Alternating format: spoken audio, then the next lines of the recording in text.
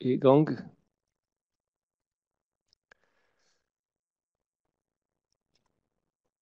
Vi kom jo ikke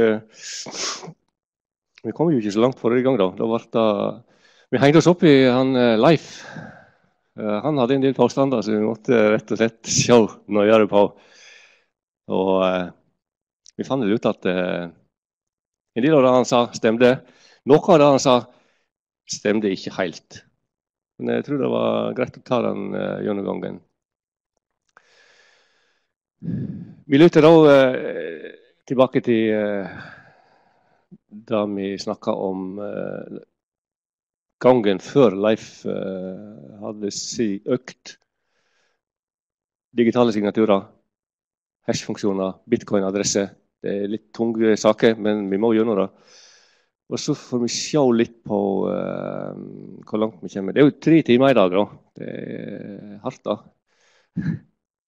Vi sier, litt, uh, vi sier det litt an. Så uh, hvor langt vi kommer, og hvor mye vi orker å drive på. Etter repetisjonen så må vi se litt på bitcoin-brukergruppe. Viktigste gruppen i bitcoin-universet, eller miljøet, eller nettverket, eller hva en kaller det. Og så skal vi òg inn på dette her med forgreininger. Forks på engelsk. Og det leder oss òg inn på uh, alternativ uh, kryptovaluta. Altcoins.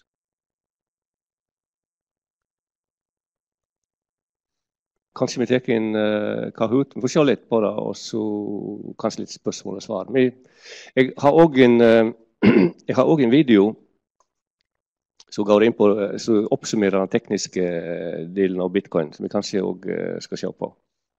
Si det litt an.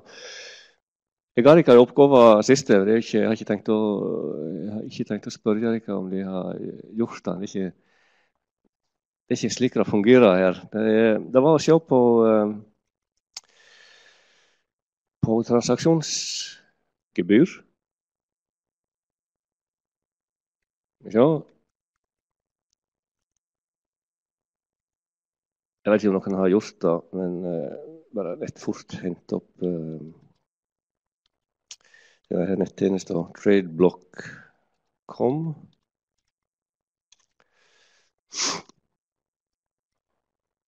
Det, bare, det var mer for å uh, for å få en følelse med Hvordan ser det, hvordan ser det ut, uh, dette bitcoin, uh, bitcoin? Altså, hvis vi går inn og studerer den mer i detalj, hvordan ser det ut? Hvordan ser en blokk ut?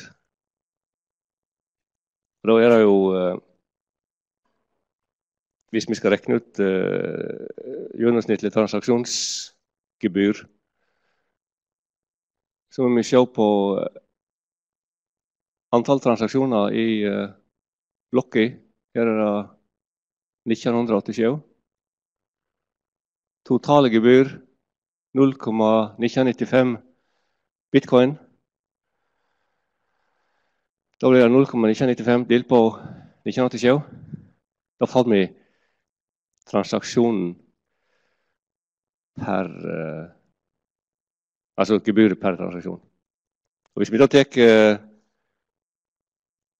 ja, La oss si vi tar de siste fire, fem, seks blokkene, så får vi et bilde på hvor ligger gebyret på akkurat nå.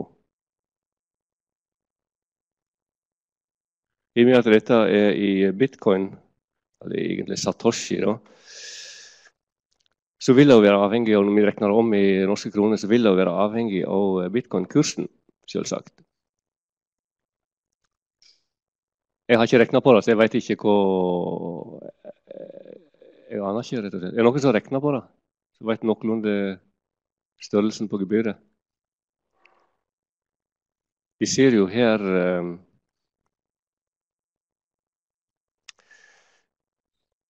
Her nede er det enkelte transaksjonene som kommer inn fortløpende. Transaksjonshashen, som er på en måte identifikatoren til uh, hver transaksjon. Når han er mottatt av nettet, størrelsen i bite og størrelsen på gebyret på akkurat den transaksjonen. Satoshi per byte. Og Satoshi da vet jeg, er den minste enheten i bitcoin-systemet.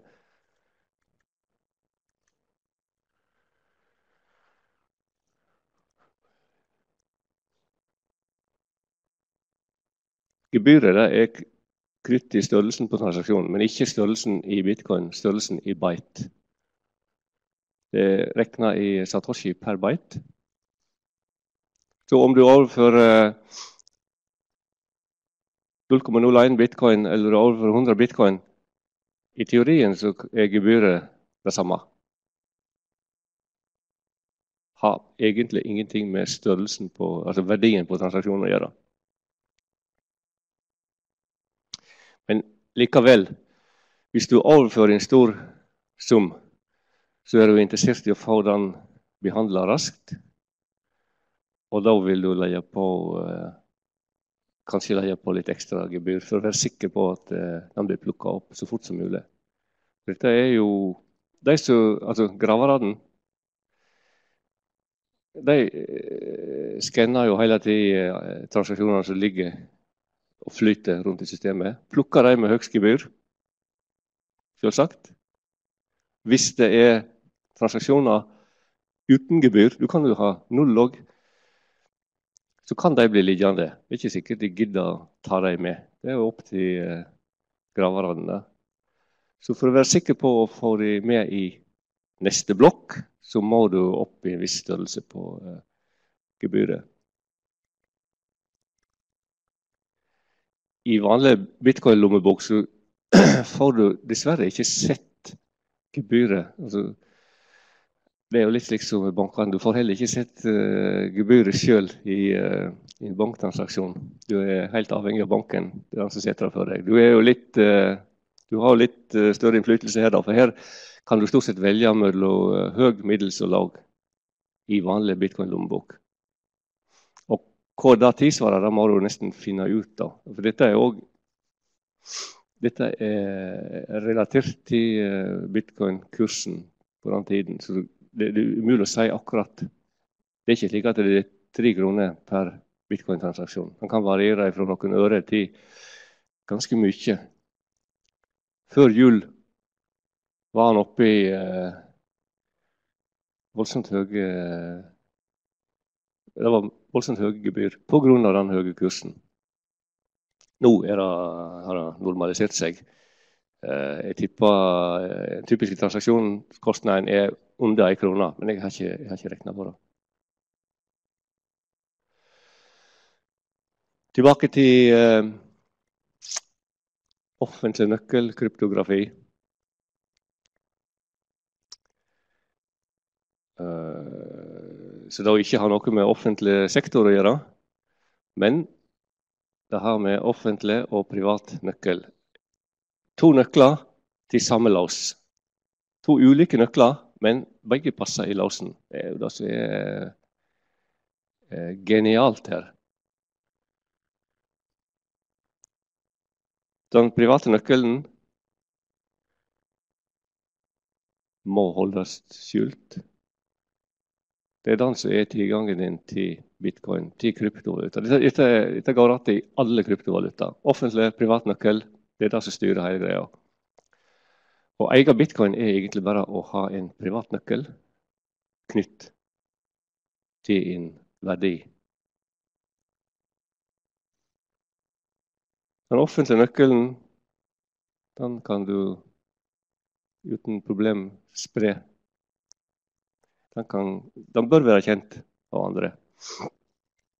Når du krypterer eller, og eller signerer med den private nøkkelen, og du låser opp og eller validere, verifisere med den offentlige nøkkelen.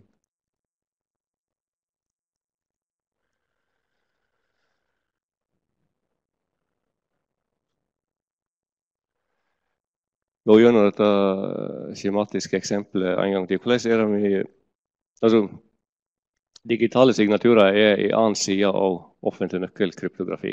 Det er én måte å bruke offentlig-privat nøkkel på.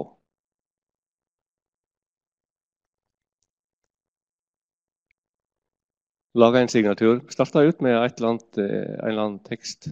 F.eks. et eh, PDF-fil. Det kan være hva som helst, da. men dette eksempelet PDF-fil. La oss si det er brev som du vil signere.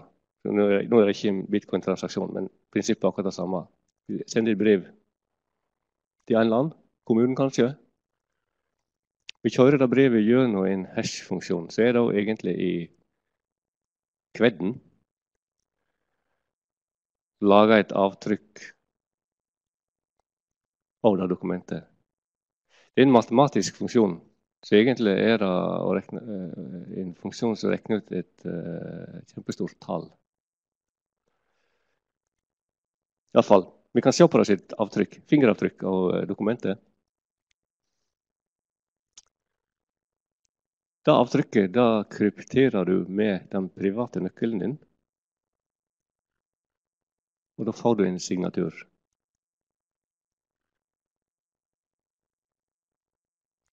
Den signaturen den sender du sammen med brevet til mottakeren. Det kan være, der kan signaturen være bakt inn i, eh, i eh, dokumentet eller brevet, i PDF-dokumentet. Men la oss si at du sender disse to separat. Du sender PDF-dokumentet, du sender signaturen. Og du sender òg eh, den offentlige nøkkelen din hvis ikke mottakeren har den fra før.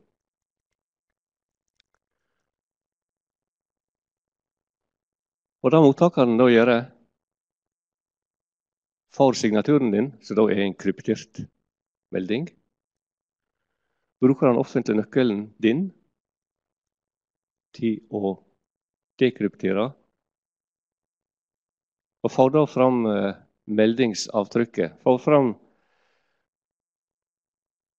hash-verdien her, hvis alt, uh, alt, går rett. Men så må mottakeren tillegg gjøre noe annet. For meldingsavtrykket det sier ikke han eller hun så mye. da. Han eller hun må òg ta det medfølgende PDF-dokumentet, brevet. Kjøre gjennom samme hash-funksjon som du har brukt komme fram til et meldingsavtrykk, hashverdi. Og da, hvis de to der er like, så er det et bevis for at eh, Ja, hva er det et bevis for, da?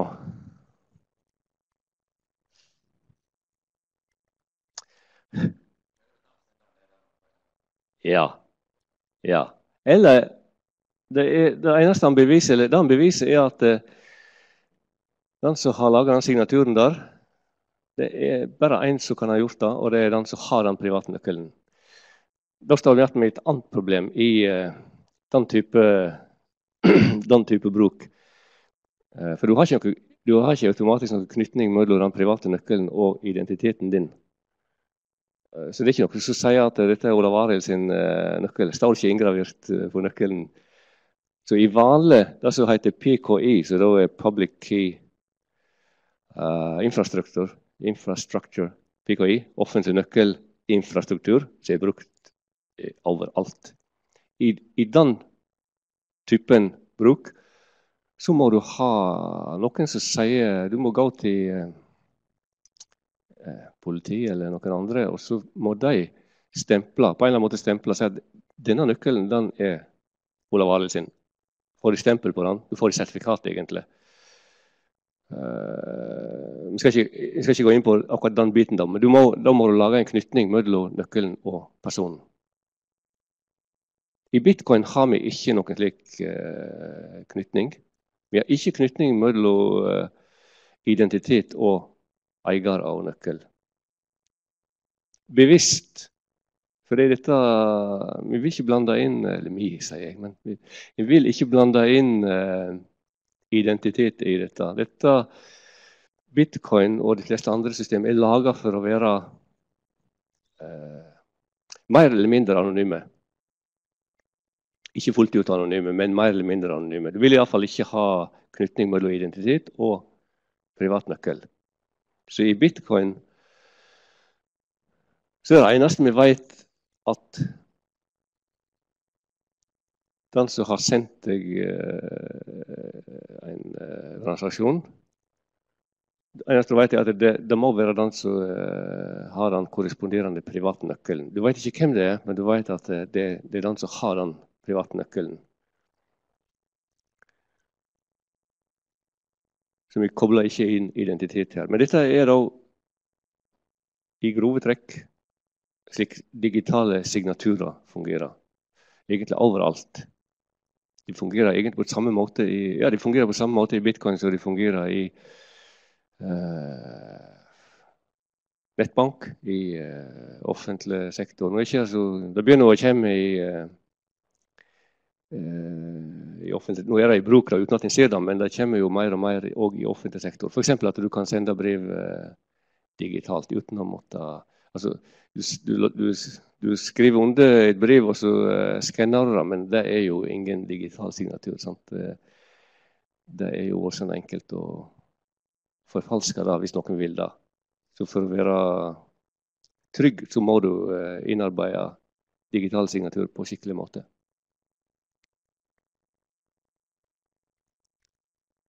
Ja.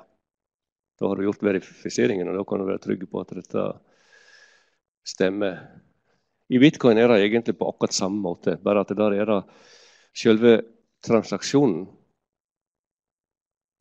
Uh, altså x antall uh, bitcoin fra meg til Martin, f.eks. Det er den meldingen som blir uh, signert. Men prosessen er akkurat den samme.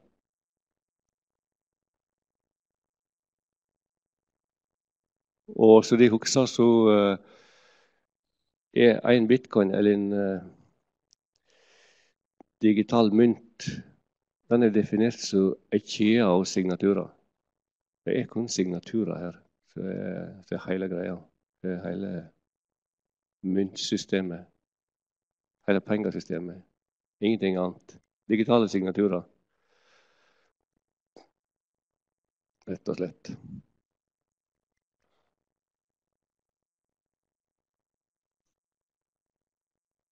I bitcoin så uh, snakker vi om uh, et, et låsingsskript når du lager en transaksjon.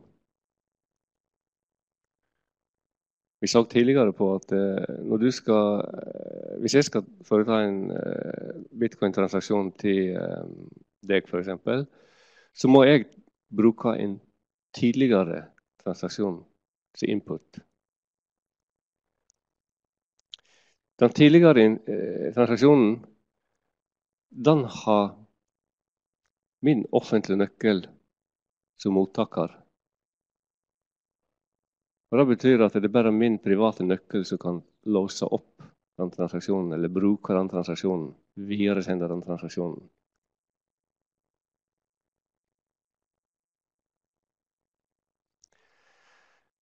Så min private signatur den beviser at jeg er den, den rettmessige eier av den transaksjonen som kom inn. Og den vil jeg da sende videre til en av dere. Og da må jeg lage et uh, skript der jeg sender den transaksjonen, eller samling av flere transaksjoner, videre til din offentlig nøkkel. Og da er det bare du med din private nøkkel som kan bruke den transaksjonen. Og Så lenge du ikke har brukt den, men du har fått den, så står det x antall bitcoin på din saldo, på din konto. Men i bitcoin er det heller ingen saldo. Eller, det er jo en saldo, men du må regne den ut for hver gang. Du må rett og slett gå gjennom alle ubrukte transaksjoner. Altså de som du har fått inn til din offentlige nøkkel, men ikke sendt videre, ikke brukt. Rekne gjennom alle. Du må gå gjennom hele greia. Det høres forferdelig tungvint ut, men eh, det går ganske kjapt. Og så må du regne ut eh, ja, hvor mye har du av ubrukte transaksjoner. Det er din saldo, balanse.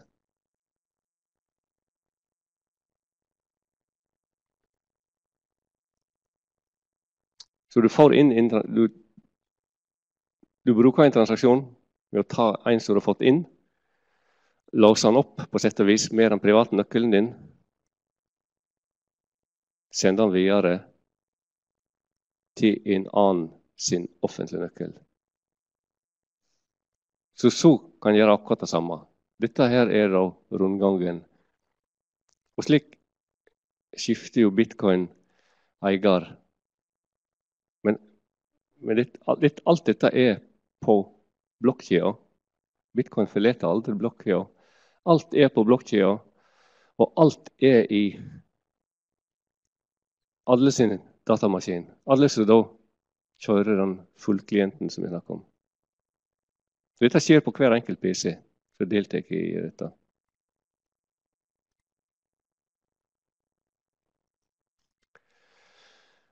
Da var digitale signaturer ekstremt viktig i, eh, i bitcoin, kryptovaluta. Det er på en måte den ene av de si, to fundamenter, teknologiske fundamentene. Det andre er jo da hash-algoritmer. Men det er jo, vi så jo da at de inngår jo òg i digitale signaturer. Så uh, egentlig er det offentlig-privat nøkkel, offentlig nøkkel, kryptografi, hash-funksjoner. Det er det er de teknologiske byggesteinene.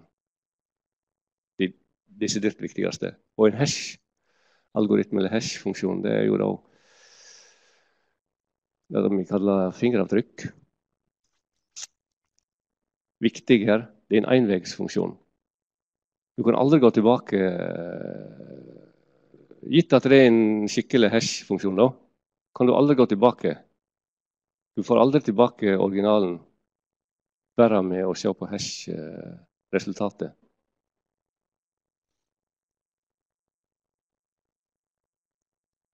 Så det er jo da ulikt kryptering.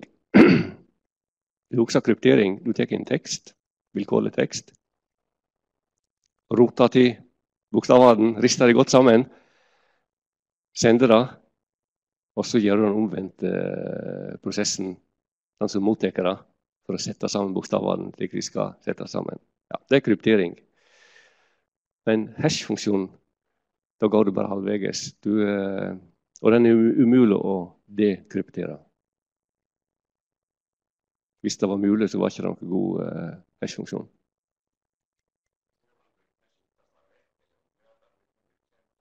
Nei, algoritmen er kjent. og det er jo òg viktig. I dette, I dette, miljøet her er ekstremt viktig at uh, alt dette her er åpent. Alt dette er open source. Um, det har vært forsøk på å lage hemmelige krypteringsalgoritmer og få dem innført som standarder. Amerikanerne har vært ivrige til det. Prøvd flere ganger. Det har ikke lykkes fordi dette er jo så, Hvis ikke du kan stole på eh, Da er det jo lett å legge inn bakdøra, legge inn, eh, og det har jo òg vært forsøkt. Så det at de åpner, eh, alle kan studere dem, de må utsettes for angrep. Sant? fordi det er bare på den måten du får testa er de gode nok. Så de forandrer seg ikke slik, men, men de blir stadig bedre. da, de, fordi med kraftigere maskinvare så klarer en etter hvert eh, å knekke i hvert fall i tidligere versjoner. Rett og slett med brute force-angrep. Eller andre typer angrep. Så det er hele tiden uh, en forbedring her, men, men en og samme hash-algoritme er konstant. Så vi skal se på I bitcoin blir flere brukt. Den mest brukte heter SHA-256 betyr uh, secure hash algorithm. Og hash-funksjoner er først og fremst for å verifisere, validere, sjekke da. Du får et avtrykk, sjekk det avtrykket mot et annet avtrykk. Stemmer disse? Da har du en, uh, en garanti for F.eks. Du, du kan òg tenke deg at du lagrer Vi så på det brevet som vi laga en hash-verdi av vi lager digital signatur. Du kan jo tenke deg at du uh, ville lagre et uh, La oss si at det var et uh, sertifikat. La oss si at det var et førerkort. Tok et hash-avtrykk av det førerkortet, lagra det på blokkjeda. Eller et vitnemål. Jeg håper at vi kan ta kursbevis fra kurset her da, og lagre på blokkjeda. Det er et mål, da. Vi må, vi må være såpass, såpass må vi klare. La oss si at vi gjør det. Eh, kursbevis for dette kurset eh, i PDF-format. Lager hash-avtrykk av det. Lagre det på blokkjeda. Og når de senere skal bevise at de, eh, ja, de, har, de tok det kurset i høsten 2018, så sender de PDF-dokumentet som de har liggende på PC-en til den som trenger å vite det. Sender de med inn en uh, liten instruksjon. Slik uh, sjekker du at dette avtrykket av dette uh, PDF-dokumentet er identisk med det som ligger på blokkjeda. Og hvis det er identisk, så viser, beviser det at de ikke har juksa med, ikke prøvd å forandre det. Forandre det fra ikke stått til stått, f.eks. ja. Men iallfall, dette fins det, òg system for uh, i dag. Uh, et av de gode eksemplene på å bruke blokkjeder til andre ting enn bare valuta, penger. Du kan lagre dokument, men ikke dokumenter. Du kan lage avtrykk og dokument. Og på den måten garantere at ting ikke blir forandra. Så nyttig for alle, alle typer sertifikat, eh, lisenser ja. Alt mer eller mindre permanente dokumenter.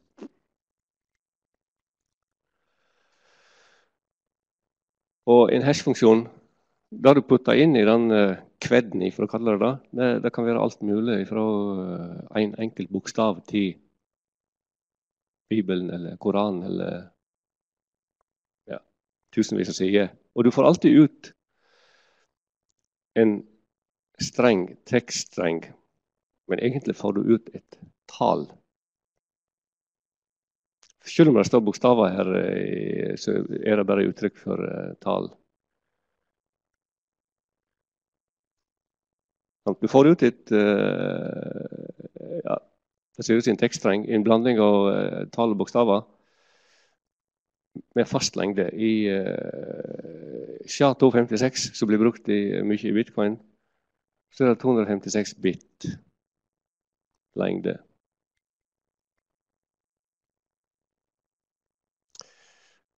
Det der med at uh, det ser ut som uh, en tekst, det, det, handler jo om at en skriver ofte Altså Hvis du skal skrive et tall i, uh, med titallssystemet, så det, kjenner vi jo til hvordan vi gjør. Hvis vi skriver det med binær totallsystemet, så vet vi òg uh, 1 og 0. Hvis du skal skrive det med heksadesimal, altså med 16 som grunntall, så bruker du uh, 0 til 9, altså 10 uh, siffer, og så bruker du A, B, C, D, E, F.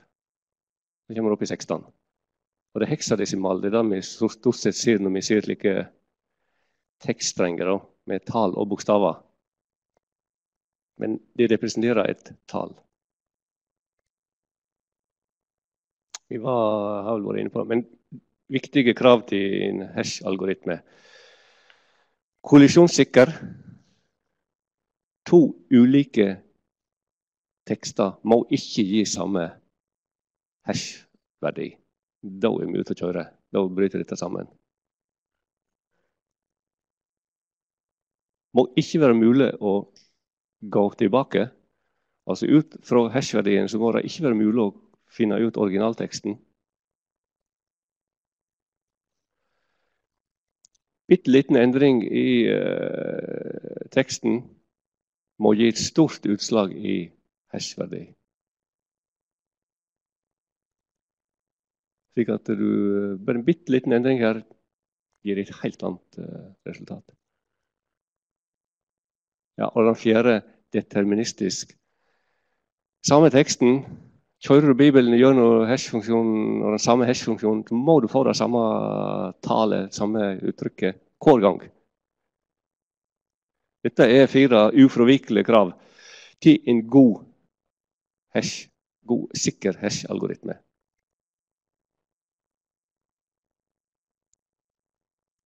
Og ja, i uh, i bitcoin så er det SHA-256 som blir brukt. Og 256 bit Det betyr at uh, du har et utvalg på to opphøyer i 256 mulige verdier. Og det er et stort tall. De har tar det ikke i hodet. Det, ser slik ut. Og det er altså eh, 78 siffer. Litt å gå på. Men hele denne her eh, Altså digitale signaturer, offentlig privat nøkkel, hash-funksjoner. Det er matematikk. Alt er matematikk. Og det er regning med store tall, altså kjempesvære tall. Og det òg eh, involverer òg eh, ofte primtall. Det er på en måte hemmeligheten i, i dette. Stor, enormt store tall. Og enormt store primtall, eller tall som da tar uendelig lang tid å faktorisere. Altså, eh, ja, de kjenner til fra matematikk. Vi skal ikke rote oss inn i, inn i det, men kjempestore tall. Det er hele, hele grunnlaget her.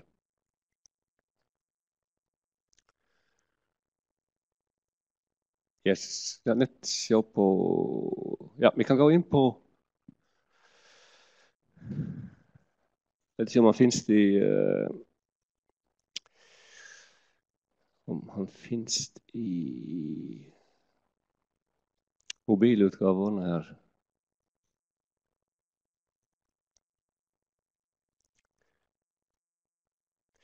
bara fyrir að pröfa þetta, bara fyrir að sjá þetta hér uh, í verklæðin eh, og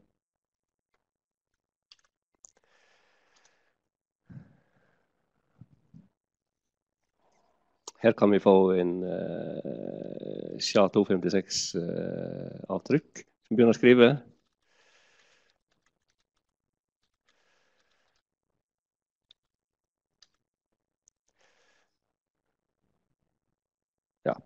Lag merke til uh, Han, eh, han regner regna ut dette etter hvert som vi skriver. Men lag, merke til hash-verdien nå. Og så legger vi til ett punktum. Kan vi se på hvordan den Ja. Den oppfyller da helt klart Vi kan ikke teste alle de fire kravene, men vi, vi ser iallfall at han oppfyller kravet om at en bitte liten endring gir et stort utslag. Du får et helt, helt, annet, uh, helt nytt uttrykk. Du får et helt annet tall, egentlig. For det her, uh, ja Her ser vi jo uh, måten dette blir skrevet på. Blanding av tall og bokstaver. Dette er altså en heksadesimal representasjon av et, et stort tall. Et tall med 78 siffer.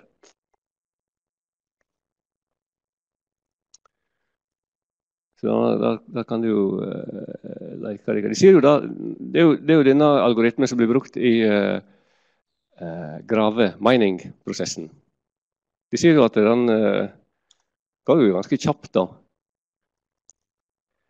Um, den PC-en som står borti skapet der en plass, den gjør nok kanskje en jeg vet ikke, million hvilke hash-operasjoner per sekund? Det høres jo mye ut, da. Kanskje, kanskje mer enn Jeg vet ikke. Men hvis du prøver å sette den inn i, eh, for å grave ut bitcoin, så kommer han ikke langt. En helt alminnelig spesialmaskin for bitcoin mining ligger på ca. Eh, 8000 gigahash per sekund. 8000, altså Giga var ikke inne på det siste. Giga er milliard. Det blir, det blir, det blir vanskelig om vi kommer så høyt. Jeg tror giga er ni nuller. Du har, eh, du har kilo, så er 1000. Uh, mega million. Giga milliard. Og 8000 milliarder. Vi snakker om 8 bil billioner. da. 8000 milliarder hash-operasjoner per sekund. Det gjør en slik liten uh, bitcoin-graver, så de kan kjøpe dere. Men sjøl den blir bitte liten fisk i det store havet. Sjøl med 8000 milliarder hash-operasjoner per sekund blir småtteri. Rett og slett uh, Vi så vel på uh, hash rate Husker jeg ikke at uh, Jeg husker ikke adressa, jeg.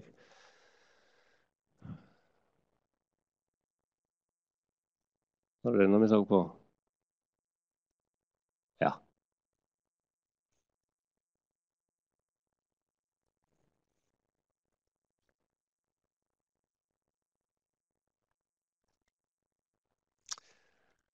Her ser vi uh, dagens hash rate. Og hash rate er altså hvor mange hash-operasjoner, hvor mange slike SHA-256-operasjoner blir utført per sekund. Nå ligger den på over 50, mellom 50 og 60 exa hash per sekund. Exa er altså da 18 eh, nuller.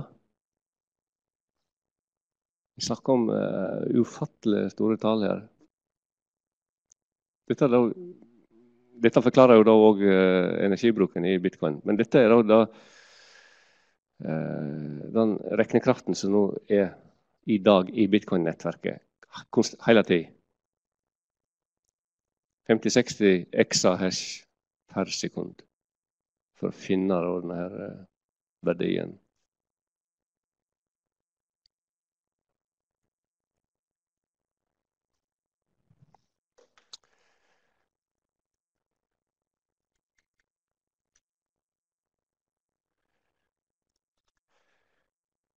Skal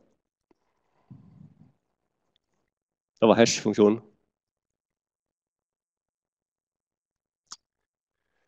En annen uh, viktig ting og det det som heter Merkel-tree, som henger sammen med egentlig er en måte å organisere hash-verdier på. Håper jeg kaller det til Ralph Merkel.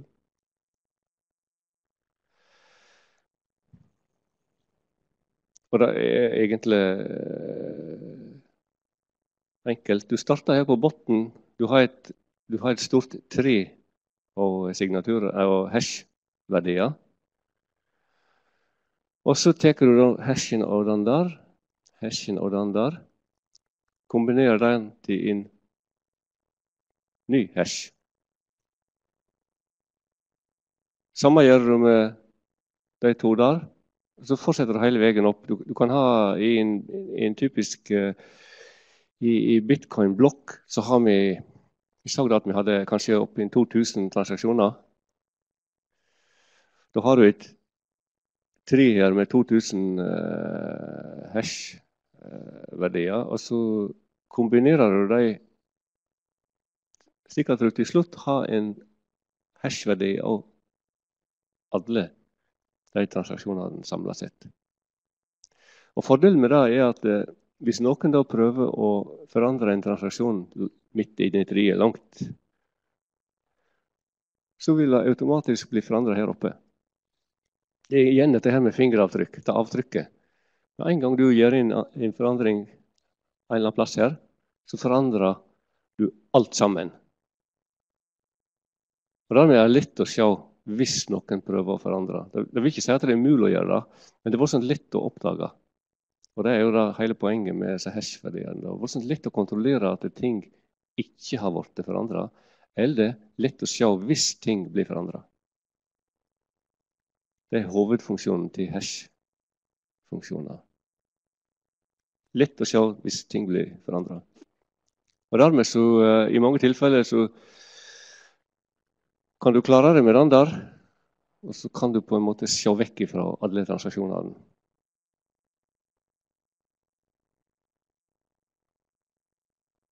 Ja, det er en, en stor effektivisering.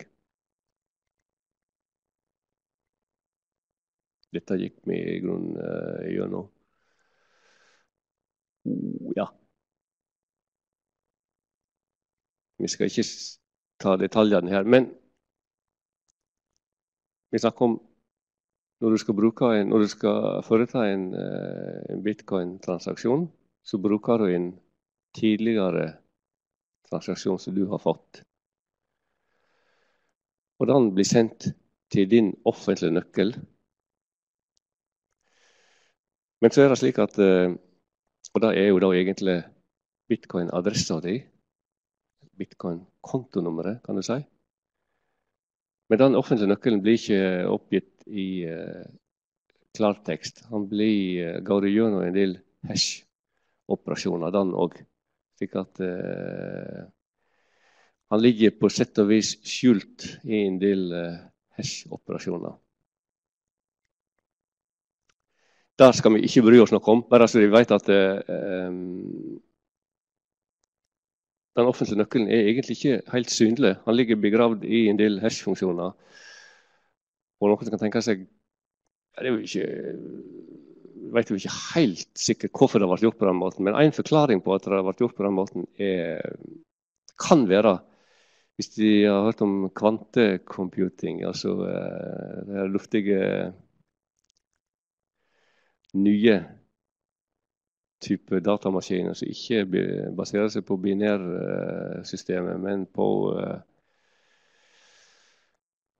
kvantefysikk.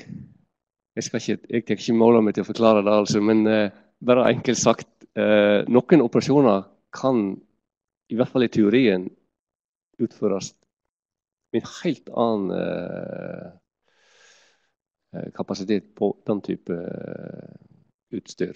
Dette er jo, dette er jo i, uh, i forskningslaboratoriet nå, da. Altså de, det er jo laga kvantedatamaskiner, men uh, foreløpig er det ikke Det er ikke noen trussel. Men de kan vise seg å, å bli farlige for, nettopp for denne type uh, teknologier. Særlig kryptering og offentlig-privat nøkkel. Med, med slikt utstyr så kan du i teorien da ved hjelp av offentlig nøkkelen regne ut uh, Få tak i den private. Og da, da er du i trøbbel, for å si det litt forsiktig. Det kan være en grunn til at uh, Satoshi Nakamoto valgte å gjøre det på den måten. Altså skjuler den offentlige nøkkelen ved å lage og hesje den. Uh, for kvantedatamaskiner er ikke eh, så langt i stand til å reversere en hash-funksjon. Så en hash-uttrykk over den offentlige nøkkelen vil være mye sikrere enn om du bretter ut offentlig nøkkel. Det er jo litt stikk, stikk i strid med det som er eh, slik den teknologien er lagra. For den offentlige nøkkelen skal, skal, du egentlig gjøre kjent for all verden. Men her er han skjult, litt skjult. Og sannsynligvis eh, med gode grunner. Før vi tar pause uh, Ja. I, i bitcoin-adressa, den du da uh, sender betaling, en transaksjon til, det er da en ganske komplisert prosess som ikke vi skal grave oss ned i. Men du starter med den offentlige nøkkelen og, og, og herjer en del med den. Og kommer da fram til adressa som er mellom 26 og 35 tegn. Altså det, det er ulike, dette er jo bitcoin-utviklingen, da. Eh, fordi den har forandra seg eh, underveis. Men i, i bitcoin-adressa som du skal sende eller motta eh, betaling til, den starter alltid med én eller tre, eller den siste, nyeste typen 1BC.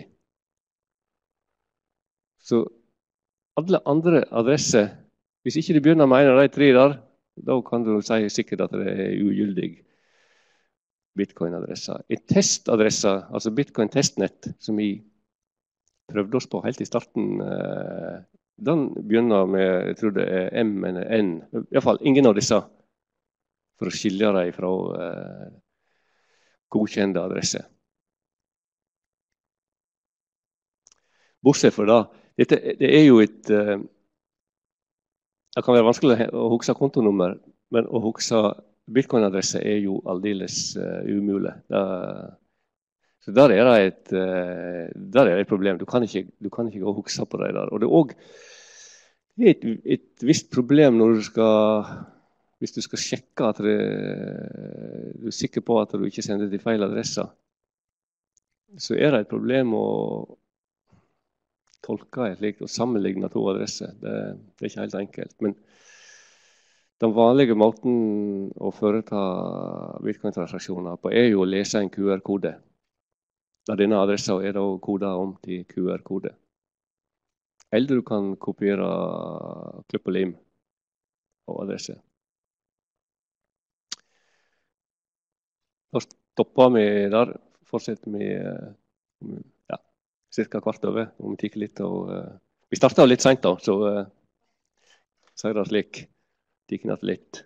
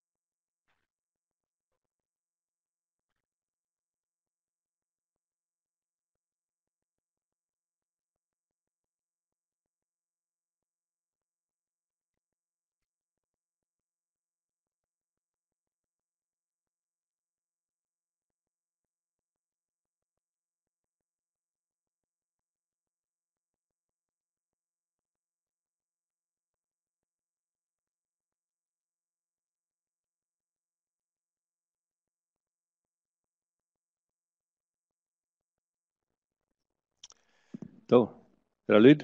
Er det? Ja, jeg tror det er lyd. OK.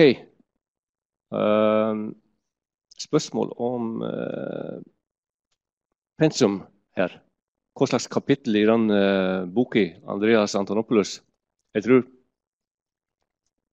Jeg tok ikke med i dag, men uh, viktig. Den, den boka er mer som et oppslagsverk. Fordi den er ganske detaljert. Voldsomt detaljert. Jeg anbefaler å bruke den som oppslag. Lese introduksjonen til hvert kapittel. Men det, det betyr bare egentlig de første sidene før det begynner å bli uh, for detaljert. Så det er absolutt ikke hele, absolutt ikke hele boka. Kun som oppslag og introduksjonen til, til hvert kapittel. Bra du uh, spor om det. Ellers så vil jeg si det, er, det blir, eh, det blir forelesningene og lysarket som egentlig er pensum. Og så har jeg jo oppgitt noen, eh, noen eh, andre dokument. Så jeg kommer til å hente ifra. Men, men, alt vil jeg ha nevnt her. Hvis jeg ikke har nevnt det i, i forelesningen, så er det heller ikke. Jeg kommer ikke til å spørre om det heller.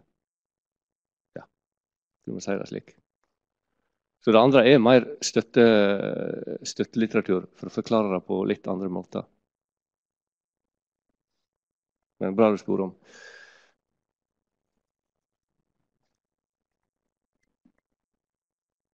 Ja, hva er det på denne her uh, kurven her, da? begynte kanskje, Noen begynte her, da. og, og så eh, får jeg en følelse av at det her, nå, nå, begynner jeg å skjønne det. kan jo nesten kalle meg ekspert etter hvert.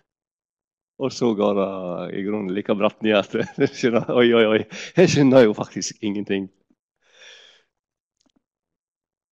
Jeg eh, begynner å skjønne alt jeg ikke skjønner nå. Hva sier det slik? At dette er, det, det er ganske Det er ganske mye og ganske omfattende, dette her. Og så kan jeg jo spørre altså,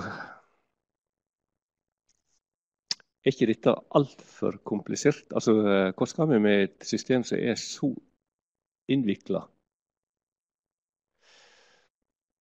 Men da tenker jeg at det er litt, det er litt urettferdig for bitcoin sin del. For hvis jeg hadde utfordra dere på å beskrive uh, kredittkortsystemet i detalj, altså ikke bare på et overordna nivå, hva er det som skjer når du uh, trekker kort eller betaler. Men du må rett og slett uh, beskrive IT-arkitekturen som ligger under databasestrukturen, kanskje. Uh, transaksjonssystemet, krypteringsmekanismene som er involverte. Jeg skal forklare deg at Jeg kjenner ikke det, men det òg er komplisert.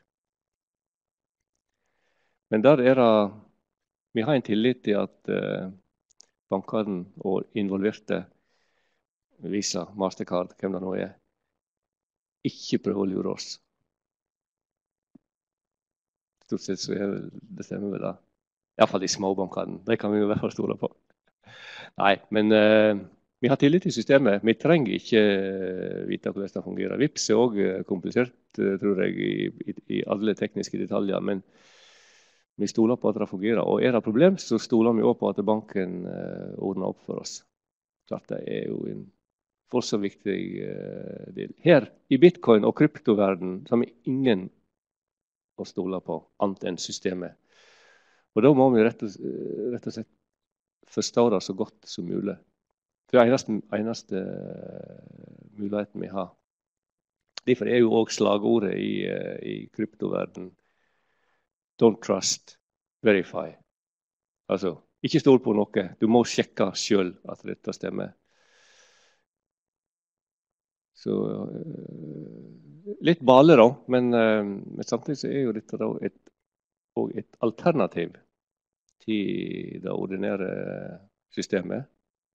Og jeg tror ikke uh, det noen gang vil erstatte det, sant? men jeg tror det er et viktig tillegg men vi må forstå det på en annen måte enn det ordinære, en ordinære betalingssystem. Vi var på adresse, som vi ikke skal Det viktige her Adressa er egentlig en offentlig nøkkel som er litt forkledd gjennom ulike hash-operasjoner. Det er det eneste vi trenger å vite kan være greit å vite at uh, i bitcoin-adresser alltid begynner på 1, 3 eller 1 BC. Begynner for så vidt med 1 da nå, da. Det er per i dag. Dette kan forandre seg. Det er hele tida uh, utvikling av koden.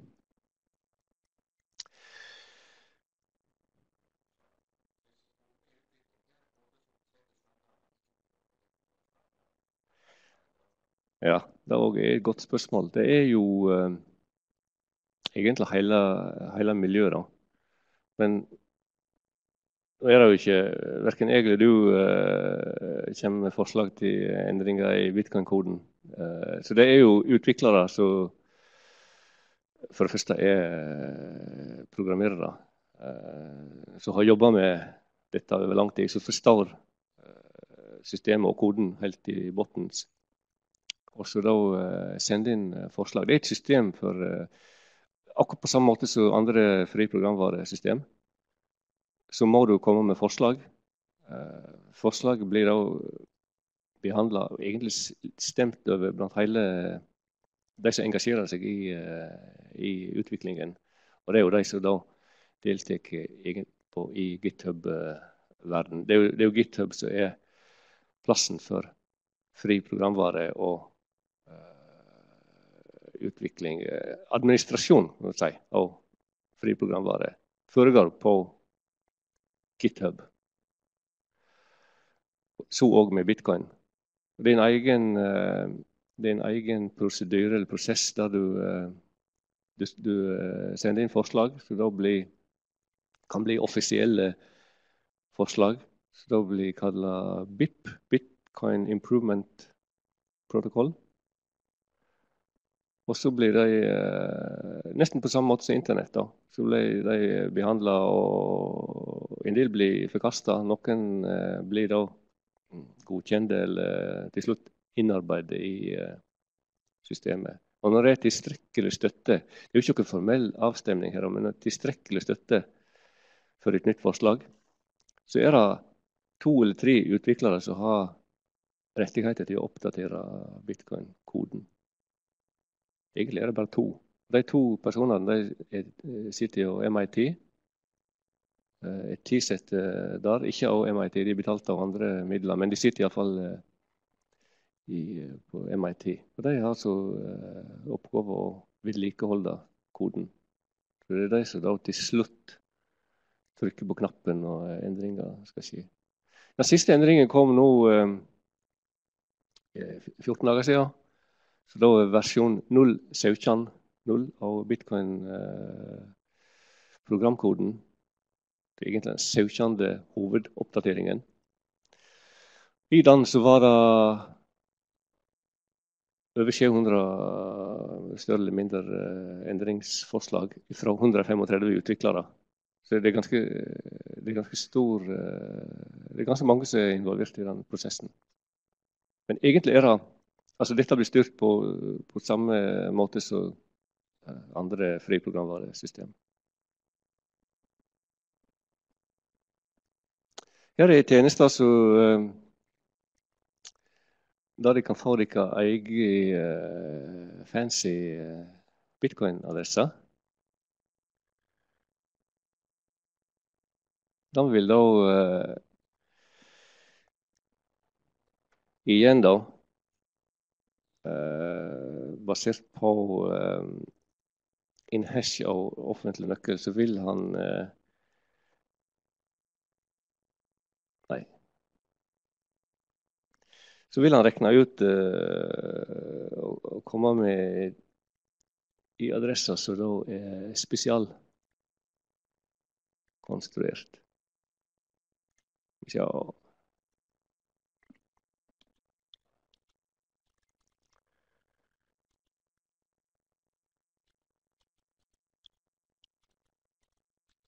Det er ikke voldsomt viktig, dette, men det er mer slik artig å vite. Så hvis jeg vil ha i eh, hvis jeg vil ha ei adresse som er litt mer personlig, så kan jeg uh, få det. Jeg kan få den uh, gratis hvis jeg ikke ja, opp til opp til seks bokstaver. Da. da kan du få uh, eier personlige bitcoin-adresser. Sier at han begynner med én. Det er på en måte Han begynner med 1, 3, 1 BC. Det er, men så kan du uh, få en uh, personifisering. Hvis jeg ville hatt etternavnet mitt, så måtte jeg begynne å betale. Så jeg, kan, jeg kunne legge til én tid.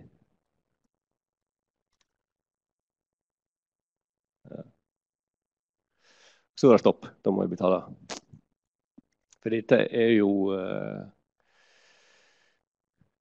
Det er lett å regne ut uh, de variantene som da uh, begynner med ja, 1, 2, 3, 4, 5, 6 bokstaver så begynner, Dette er jo en eksponentiell funksjon. Så begynner det å bli vanskelig. Det blir så mange kombinasjonsmuligheter. At til flere bokstaver du skal ha, til, eh, til mer koster det å regne det ut. Da. Derfor må du betale. Og du kan få opptil ni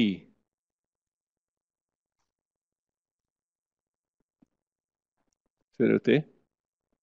For det er mer enn det så, så klarer han rett og slett ikke å regne det ut.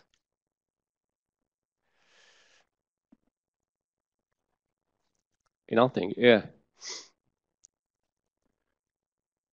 Du vil jo uh, være forsiktig med å lage ei slik adresse på nettet. Da. da kan du være sikker på at her er det stor fare for at uh, dette er jo den offentlige nøkkelen din, sant? eller den som ligger til grunn. Da må du aldri hente fra, uh, fra nettet. For da kan du være sikker på at den private nøkkelen kobla til den der, den er ikke helt sikker. Så dette er jo mest for å leke seg, da. Iallfall så måtte du da uh, ha regna ut dette på en litt annen måte. Dette sier litt om uh, den eksponentielle utviklingen og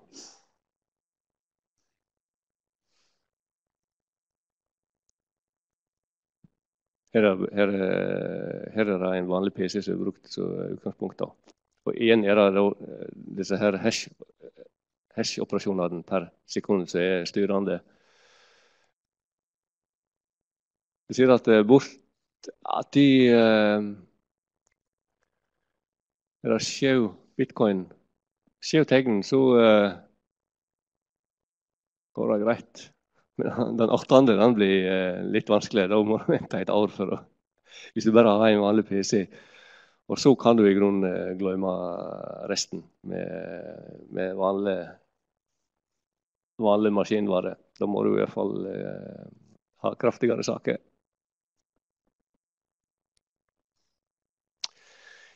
Ja.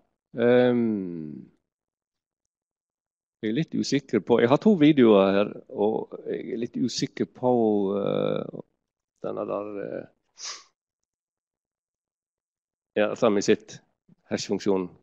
Bitte liten forandring gir stor forandring i uh, hash-verdi. Og, og, her er det hvordan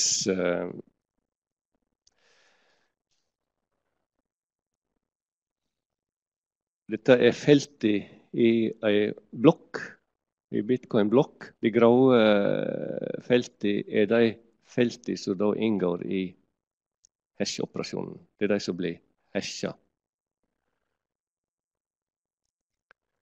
Um, det viktige her er egentlig denne her.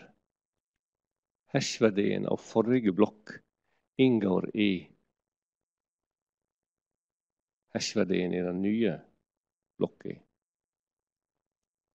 Og det er måten blokkene blir lenka sammen på.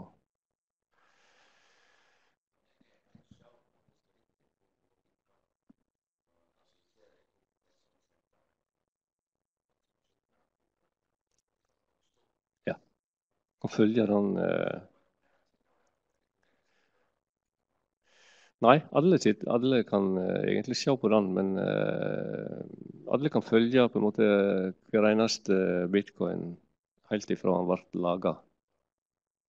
Men de sier bare adressa, og de sier de vet ikke hvem som eier den uh, adressa. For det, det er ikke knyttet til identiteten din. Men her er, en, her er en kobling på to nivå. En av er jo blokkene i seg sjøl er kobla sammen. Men vi har sett tidligere at uh, transaksjonene er òg kobla sammen i kjeder. Det er to, egentlig to kjeder her, eh, litt uavhengige av hverandre. Det er blokkjeder, så da er blokk for blokk, og ei blokk inneholder fra 0 til 2000-3000 transaksjoner. Men transaksjonene i seg sjøl er òg kjeder sammen. De kan òg spores eller følgjast tilbake til utgangspunktet. Det, det, det, to, det, det er koblinger på to nivåer her. Både blokker og transaksjoner.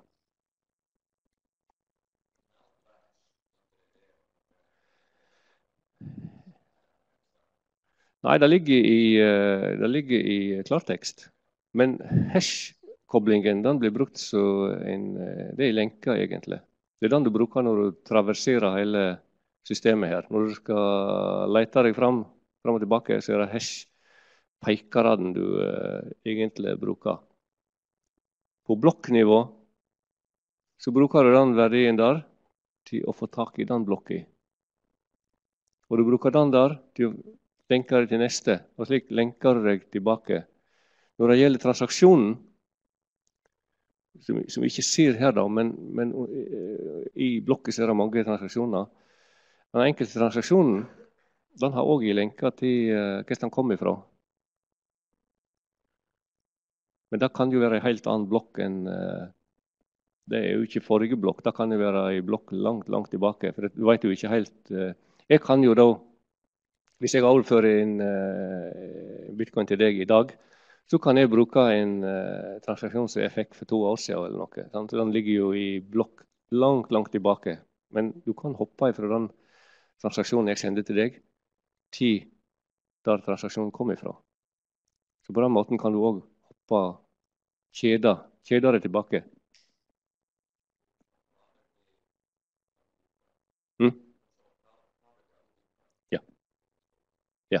Ja. Du kan spore det tilbake til uh, det øyeblikket de ble genererte. Og det er jo eh, For hver ny blokk så blir det laga ny bitcoin. Det er på en måte eh, måten de blir eh, ja, det er måten de blir satt inn i sirkulasjon. Det er jo for hver ny blokk. I øyeblikket er det 12,5 nye bitcoin. De blir gitt til den graveren som finner, først finner den uh, verdien som tilfredsstiller kravet. Dette er jo hele denne graveprosessen. Den graveren får de 12,5 bitcoin. Det er den første transaksjonen i uh, den, de, I blokk inneholder alltid den transaksjonen. Coinbase-transaksjonen. Den transaksjonen er spesiell, for den kommer jo ikke fra den kommer ikke fra en tidligere transaksjon. Den oppstår av ingenting. Den har på en måte ingen uh, referanse til tidligere uh, adresse eller, eller transaksjon. Den blir bare laga der og da. Mottakeren er da graveren sin, sin uh, offentlige nøkkel. Den kan ikke brukes før det har gått 100 blokker. 100 nye blokker før du får lov å røre den uh, transaksjonen. Det er fordi at eh, det oppstår splittelser i, eh, i nettverket nesten daglig. Fordi en finner blokker på omtrent samme tid. Og så begynner en å bygge på ulike greiner. Og så til slutt så uh, Det går ikke så lang tid før en finner ut at det er en dominerende grein. De andre blokkene blir bare eh, annullerte.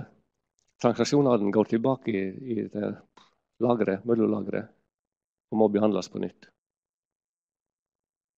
Så hvis graverne fikk lov å bruke denne Coinbase-transaksjonen med en gang, så ville det vært store problem. Du kunne ikke tilbakekalle Hvis de alt hadde brukt den transaksjonen, så ville det vært vanskelig å uh, annullere den. Det ville ikke vært mulig. Derfor har jeg lagt inn en uh, stor sikkerhetsmargin. 100 blokker må det gå før du får lov å røre den.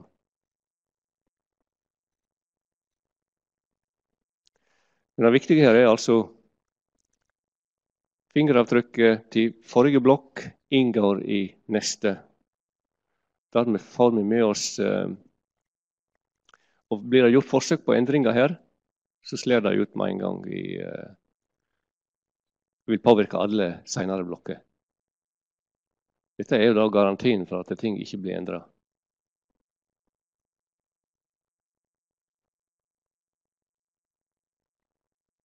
Det at det blir gjort en dobbel eh, det blir gjort en dobbel uh, hash, uh, hashing her. Altså, først blir de felte her. Thickness og input til den uh, funksjonen. Får du ut en tekststreng. Og så tar du den igjen, kjører den en gang til inn i den samme hash-funksjonen. Det betyr ikke at det blir dobbelt så sikkert absolutt ikke. Så enkelt er det ikke. det. Um, grunnen til at det er gjort, er at det, det er en spesiell type angrep så, uh, mot slike hash-funksjoner, der du kan uh, uh, Ja, dette er jo ganske avansert, men det er for å unngå en spesiell type angrep der du kan på en måte gitte det fram til lengden, størrelsen på input Eh, hvor stor er den input-strengen? Altså, og Da kan du òg eh, finne ut en del ting hvis du klarer å finne ut det. Og Hvis du gjør dette to ganger, så kan ikke du eh, finne ut akkurat den opplysningen. Så det er for å unngå en helt spesiell eh, type angrep. Men det blir ikke dobbelt så sikkert med å hashe to ganger. Og ikke tre ganger så sikkert men å hashe tre ganger. Så var det video. Jeg har to jeg har to uh, varianter her. Én lang og én kort. jeg tror vi tar uh, den korte i dag. Og så kan det jo uh, Jeg anbefaler at de ser på den som heter How Bitcoin Works Under the Hood. Finner han på YouTube. Den lengste er par og 20-25 minutter går inn på de tekniske tingene i uh, bitcoin. Det finnes òg en forenkla versjon som heter The Essence of How Bitcoin Works. Vi skal se på den nå. Og så kan de se på den andre når de får tid. Hvis de får tid, når de får tid. Den er på en måte en oppsummering av alt vi har gått gjennom til nå av det tekniske. Ja, jeg tror rett og slett jeg eh, Jeg stoppa delingen fordi eh, jeg syns ikke Adobe Connect er noe særlig. Du får ikke med teksting og video. Jeg tykker det er ikke så bra. Så vi kjører den uten, og, uten gjennom systemet.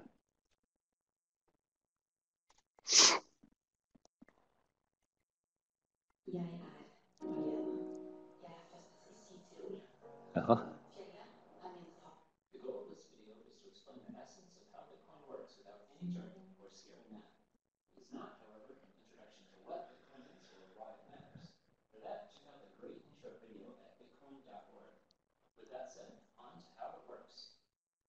Bitcoin lets people exchange money electronically as easily as sending an email or text. To send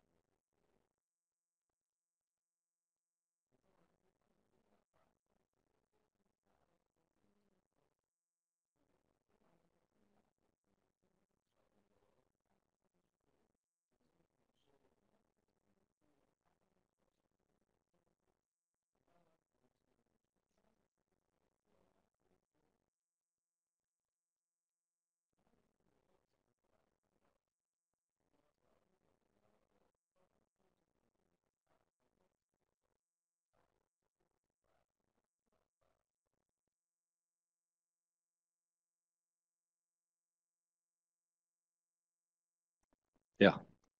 De kunne altså eh, hvis de vil, Dette var kortversjonen og, eh, og den eh, litt lengre versjonen. Men det er egentlig akkurat det samme han går gjennom der. Litt mer detaljer, da. Men dette var da, som tittelen sier, essensen og bitcoin under the hood.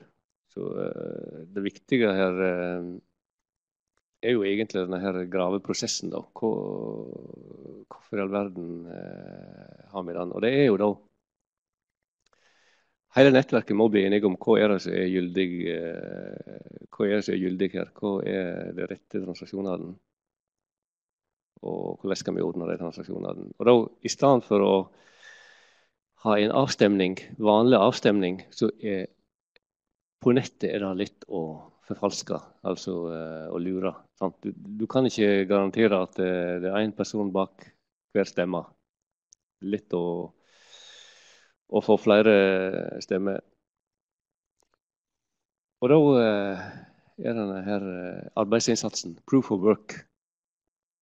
Så da eh, er en måte å garantere at det ikke er mulig å lure systemet. Den eneste måten du kan eh, på sett og vis lure, er at du må da sette inn mer arbeid, sette inn mer energi enn halvparten av eh, nettverket.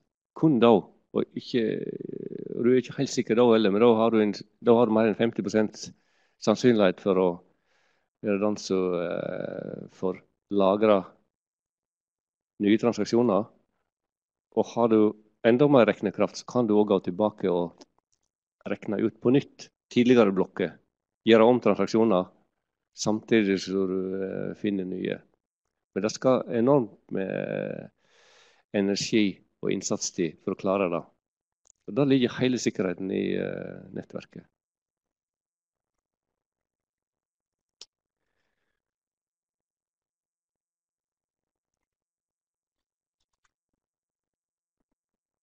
Det var altså Ja. Og hvis de uh, har tid, lyst, se gjerne på den uh, lengre utgaven. Så da uh, forklarer jeg enda mer i detalj. da.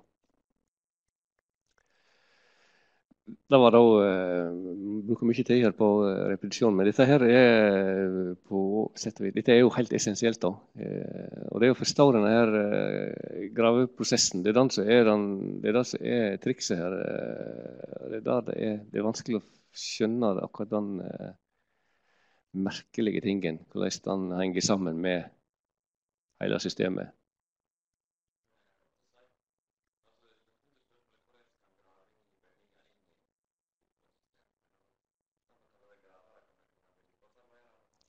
Ja. Ja. ja. Det er mye bedre. Gravebegrepet er eh, egentlig litt eh, villedende. Fordi eh, graver eller bitcoin-utvinnere det, det, er ikke, det er ikke de nye bitcoin som er poenget her. Det er sikkerheten i eh, nettet. Vedlikeholdet, egentlig, da. Men, men, først og fremst sikkerheten. Sikring mot, uh, mot svindel, rett og slett. Det er hele, hele poenget med den operasjonen. Så vedlikeholdsarbeidere er eh, ord enn bitcoin-gravere. Ja, det er det.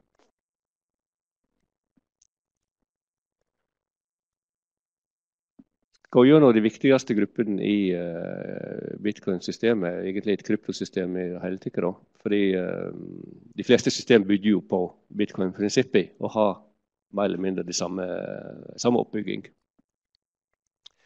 Vi har vært gjennom eh, altså den ordinære bitcoin-brukeren som enten har lasta ned hele sulamitten på eh, PC-en. Og hvis de har en ledig PC Du har vel mange i undervisningen din. Da anbefaler jeg å eh, laste ned en fullklient og bare ha la den surre. Da er du med å eh, styrke nettverket, egentlig. Da. Fordi eh, fullklientene er ekstremt viktige i dette systemet. Her er det grupper som holder hverandre litt i ørene. Det er hele, hele poenget. Um, du kan på en måte ikke stole på noen, men alle må holde hverandre litt i ørene for at dette skal fungere. viktig å ha mange fullklientbrukere. Det er ikke noe eksakt tall som sier at hvis det er mer enn 1000, mer enn 5000, mindre enn så er det mer sikkert, mindre sikkert. Det, det er ikke det, men, eh, men, egentlig så mange som mulig. da. Og helst òg få det spredt så godt som mulig over hele verden. At ikke de La oss si at eh, nesten alle bitcoin-fullklienter er i Kina. Det ville ikke vært spesielt bra. Men det er ikke så bra hvis alle var i Norge heller, egentlig. da. Mest mulig spredt. Det, det gjør systemet mer robust. Og så er det da disse lettvekstklientene, Det er jo da mobillommeboka. Den vanlige bruken. Um, de, er, de er, jo viktige for å, for å bruke systemet, men, men, de er ikke viktige i kontrollen av systemet. For de, de har ikke blokkje å lagre. De har bare blokkheader, altså bare metadata i blokkene blir lasta ned til eh, lettveksklienten. Så De er helt avhengig av en fullklient for å verifisere. De kan ikke, eh, Som vi så tidligere, en eh, mobilklient kan lures til å tro på alt. Helt avhengig av omverdenen. Vi har vedlikeholdsarbeiderne, kanskje vi skal begynne å kalle dem det i stedet for gravere. Vi har utviklerne, som vi var inne på, òg. Viktig gruppe det òg. Vekslingstjenester er klart eh, viktige her. Du skal inn og ut av eh, det vanlige pengesystemet. For hele tiden å komme inn i eh, Få tak i bitcoin, komme inn i den, eh, ta del i det, så må du jo eh, starte med norske kroner for vår del. da.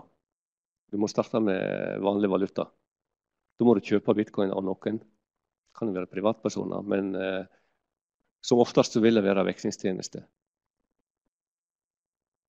Og den siste gruppa her er jo de som eh, tar imot bitcoin som betaling. Det som heter merchants, altså handelsmenn. Tar imot bitcoin for varer og tjenester. De er jo òg viktige sett, hvis vi ser på bitcoin som et betalingsmiddel. Vi så jo sist og egentlig da Leif eh, var innom forrige uke, forrige fredag. Bitcoin er ikke spesielt bra som betalingsmiddel per i dag. Og Derfor er den gruppa der heller ikke spesielt stor. og den har vel om Jeg tror ikke den har økt noe særlig de siste årene. Tvert imot, kanskje. Bitcoin blir ikke brukt så mye til betaling. Bitcoin blir brukt til eh, spekulasjon, som Leif kaller det.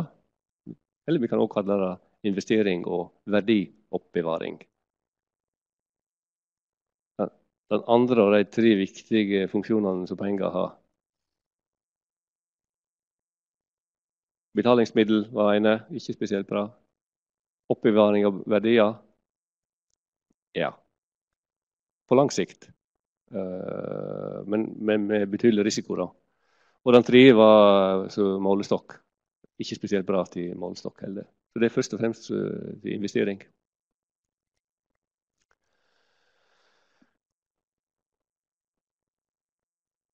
Ja, akkurat det samme. Ja, Polklienten. Viktige for å kontrollere at reglene blir fulgt. Og reglene det er jo det som er i programkoden til enhver tid. Det er bitcoin-reglene, og det er på en måte konsensussystemet. Det er koda inn i uh, bitcoin-programmet.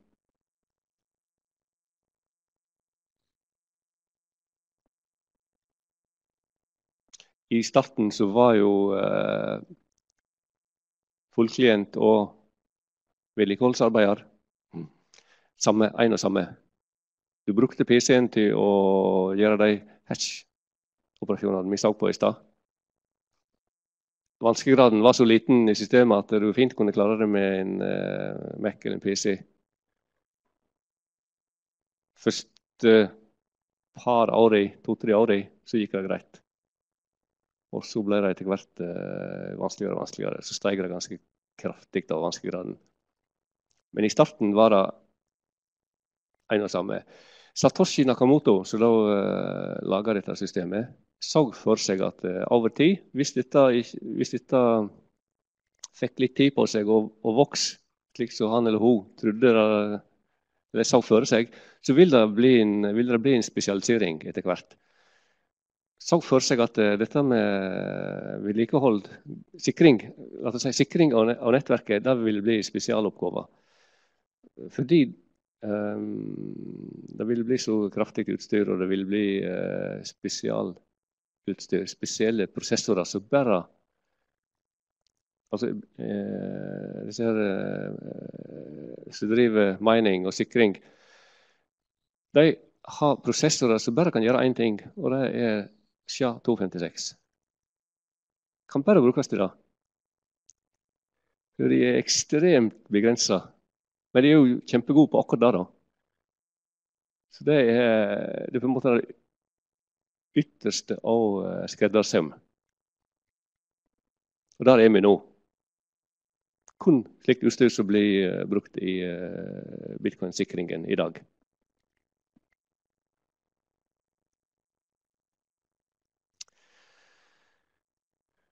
Hvordan kan brukerne, og nå snakker jeg om de som kjører hele programvaren og har hele blokkjeda lagra, eh, iallfall ha lasta den i. Kan, vi har jo sett på at du kan, etter å ha lasta ny og verifisert alt, så kan du kvitte deg med store deler og, likevel uh, fungere som en full klient. Hvordan makt har de? Hvordan kan de bruke sin makt? Um,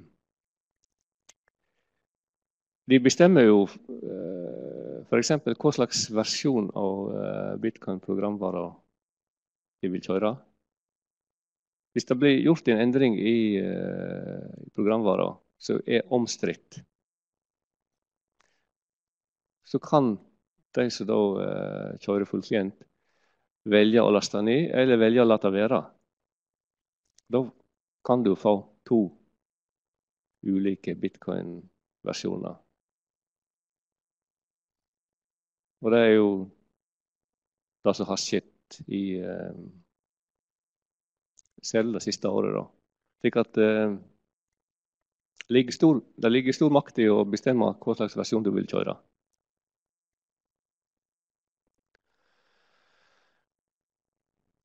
Vi skal se litt mer på dette med splittinga i nettverket, men eh,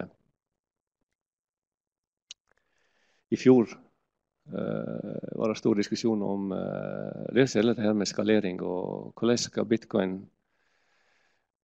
oppgraderes til å håndtere flere transaksjoner. For det er ganske begrensa i dag. Og Da var det stor uenighet i uh, miljøet mellom ulike grupper. Og da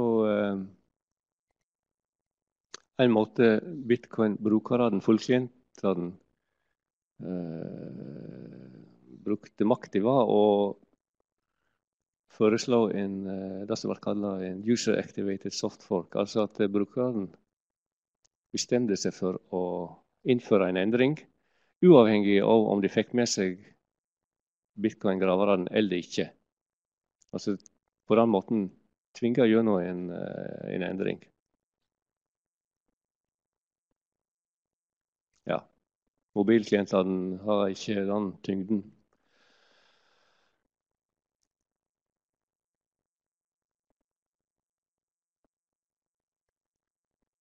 Graverne, vedlikeholdsarbeiderne, sikrerne. Vi har også sett at dette er mm, ofte store sammenslutninger. Eh, det finnes jo store selskap som eier masse utstyr, da. Men, men disse disse le, Laugi, vi kaller de det, da, eller mining pools, de er jo ofte sammensett av så mange uavhengige eh, aktører. Skal vi se.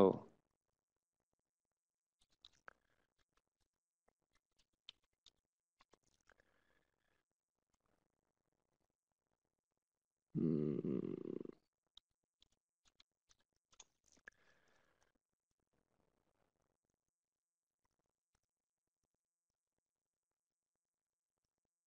Da burde jeg hatt adressa her, men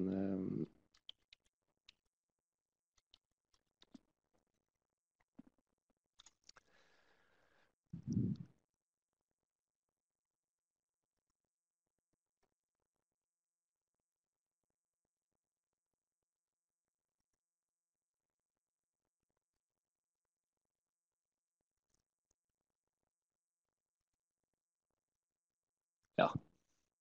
Her har vi dagens sammensetning og uh,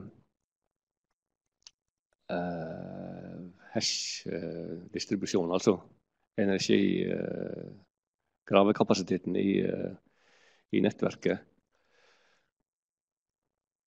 Og bak hver enkel blokker så ligger det mange enkeltaktører òg. Det kan være sammensatt av mange tusen individuelle som da har gått sammen i et laug. Fordi hvis du kjøper deg eh, graveutstyr altså en spesiell eh, bitcoin-maskin. Så har du valget mellom å drive på egen hånd og på en måte eh, lottometoden. Altså, du, du, kan jo eh, håpe på å få vinnertallet. Og statistisk sett så driver du på lenge nok, så vil du nok uh, gjøre det. Men det kan, kan gå mange år.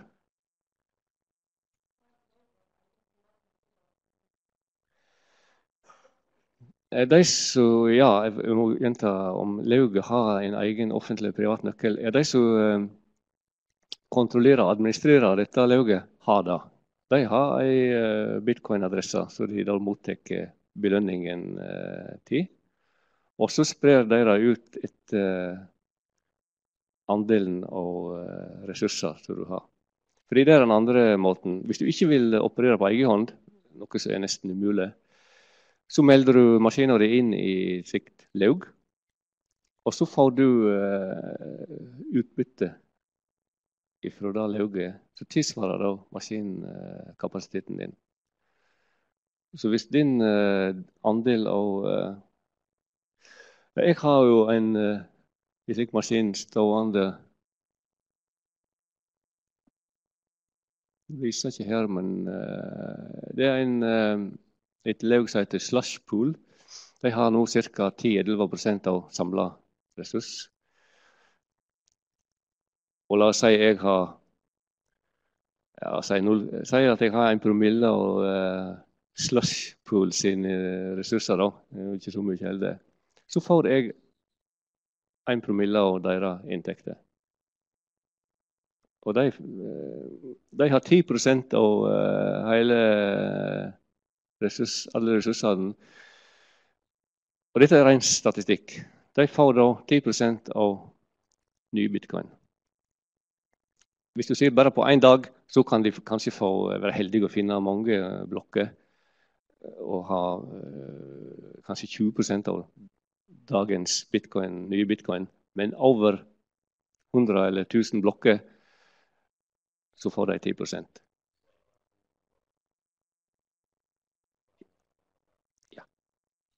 De har 10 av ressursene. De får eh, da, hver tiende blokk.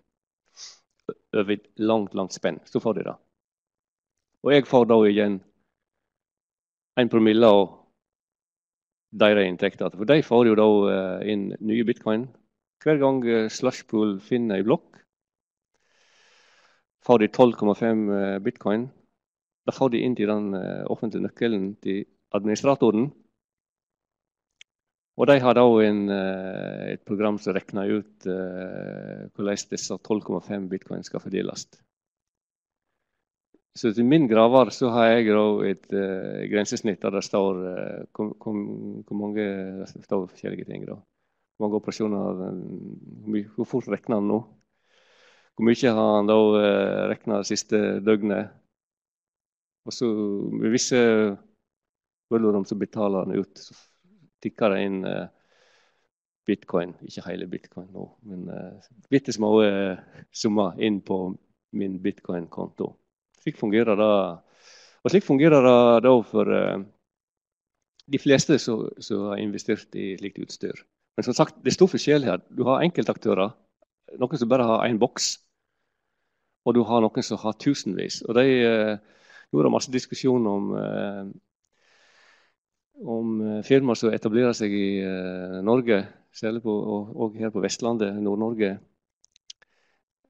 Og Da snakker vi om aktører som da kjører inn tusenvis av og slik, maskiner og driver utvinning i stor skala. De òg vil nok være tilslutta en av disse her eh, gravelaugi, men de vil jo da ha en stor del av, stor del av det.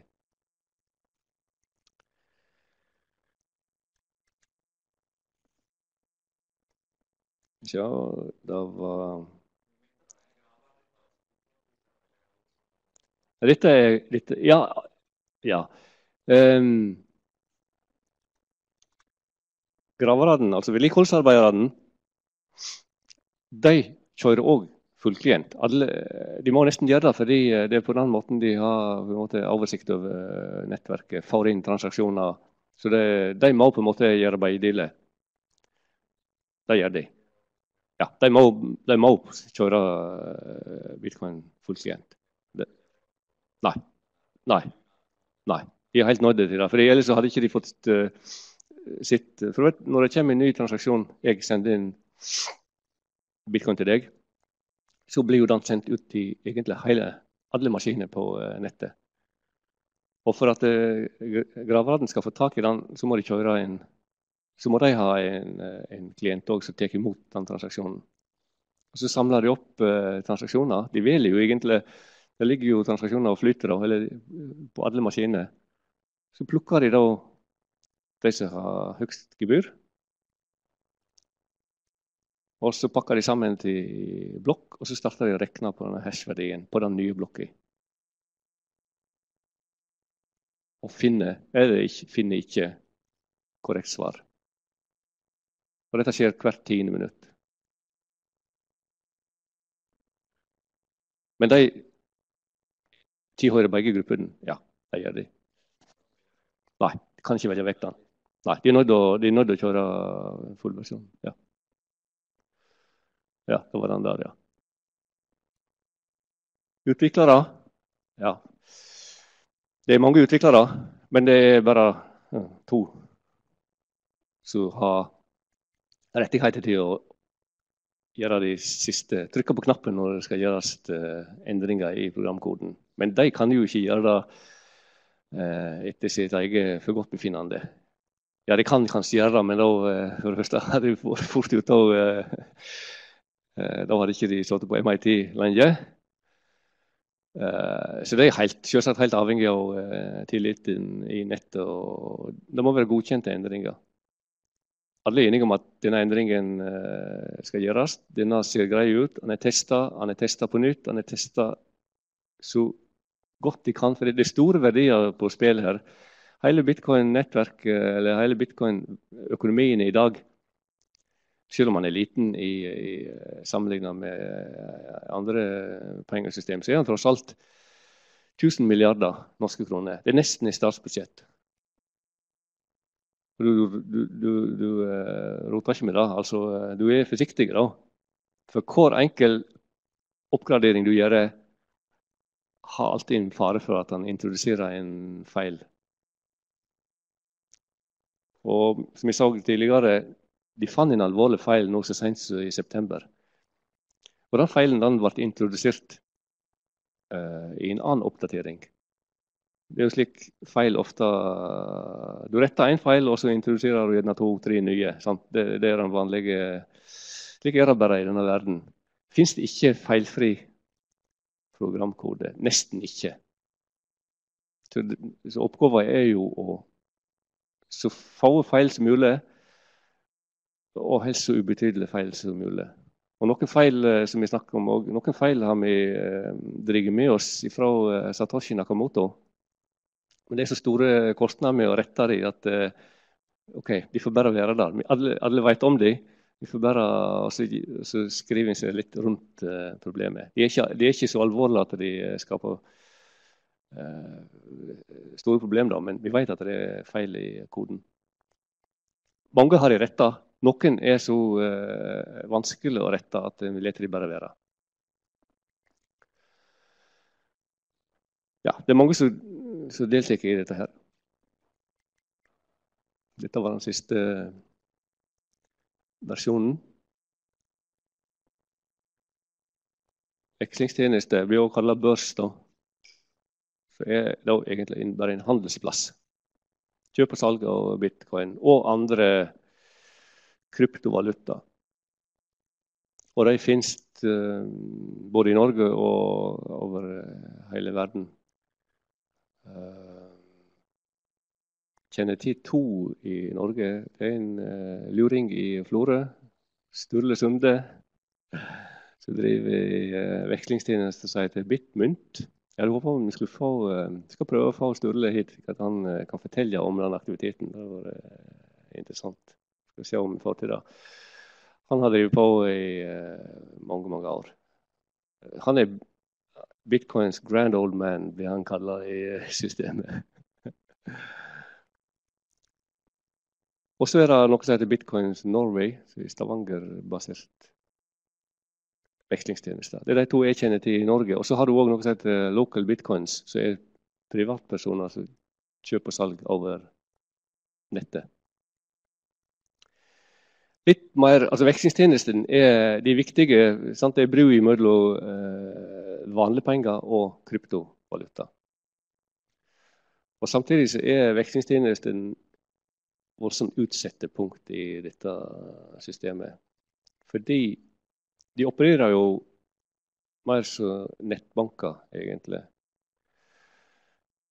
Hvis du eh, logger deg inn på en eller annen eh, vekslingstjenester, så oppretter du egentlig en konto uh, ja, det. Du overfører penger fra uh, Sparebanken en eller annen, til vekslingstjenester. Akkurat som du ville overført mellom to, norske, to banker. Og så uh, i, det, du kjøper bitcoin, så overfører du uh, norske kroner til uh, en eller annen eh, konto på vekslingstjenester og får bitcoin tilsvarende den. Eller en annen kryptovaluta. Hvis du ikke gjør noe eh, mer, så, ligger, så er det vekslingstjenester som uh, sitter med dine bitcoin. Vekslingstjenester som sitter med dine nøkler. Og En voldsomt viktig regel i dette systemet her hvis det ikke er dine nøkler, så er det heller ikke dine penger. Not your keys, not your money. Rett og slett. Selv om det egentlig det er jo dine eh, bitcoin. sant? Men dette er jo i honningkrukka for uh, hackere. Det er jo voldsomt fristende. å for dette er jo kun digital. Uh, alt er på nettet. sant? Alt ligger der. Ligger ikke åpent, sant? men uh, klarer du å bryte deg inn i de vekslingstjenestene så, og der har vært mange innbrudd. Og mange har tapt mye, mye penger. Det er stor svakhet i systemet. Men det har ikke egentlig noe med bitcoin-systemet å gjøre. Det har med hvordan disse vekslingstjenestene opererer. Altså, de er sårbare. Så hvis du kjøper bitcoin, kryptovaluta, på i vekslingstjenester, så er det sterkt anbefalt å overføre bitcoin til din egen private lommebok. Og den lommeboka den kan være på PC-en. Ikke bra.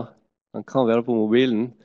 Heller ikke Spørs hvor mye vi snakker om her. Da, Men snakker vi om eh, litt større verdier, så vil du lagre det på en plass som ikke er knyttet til nettet rett og slett. Ikke online.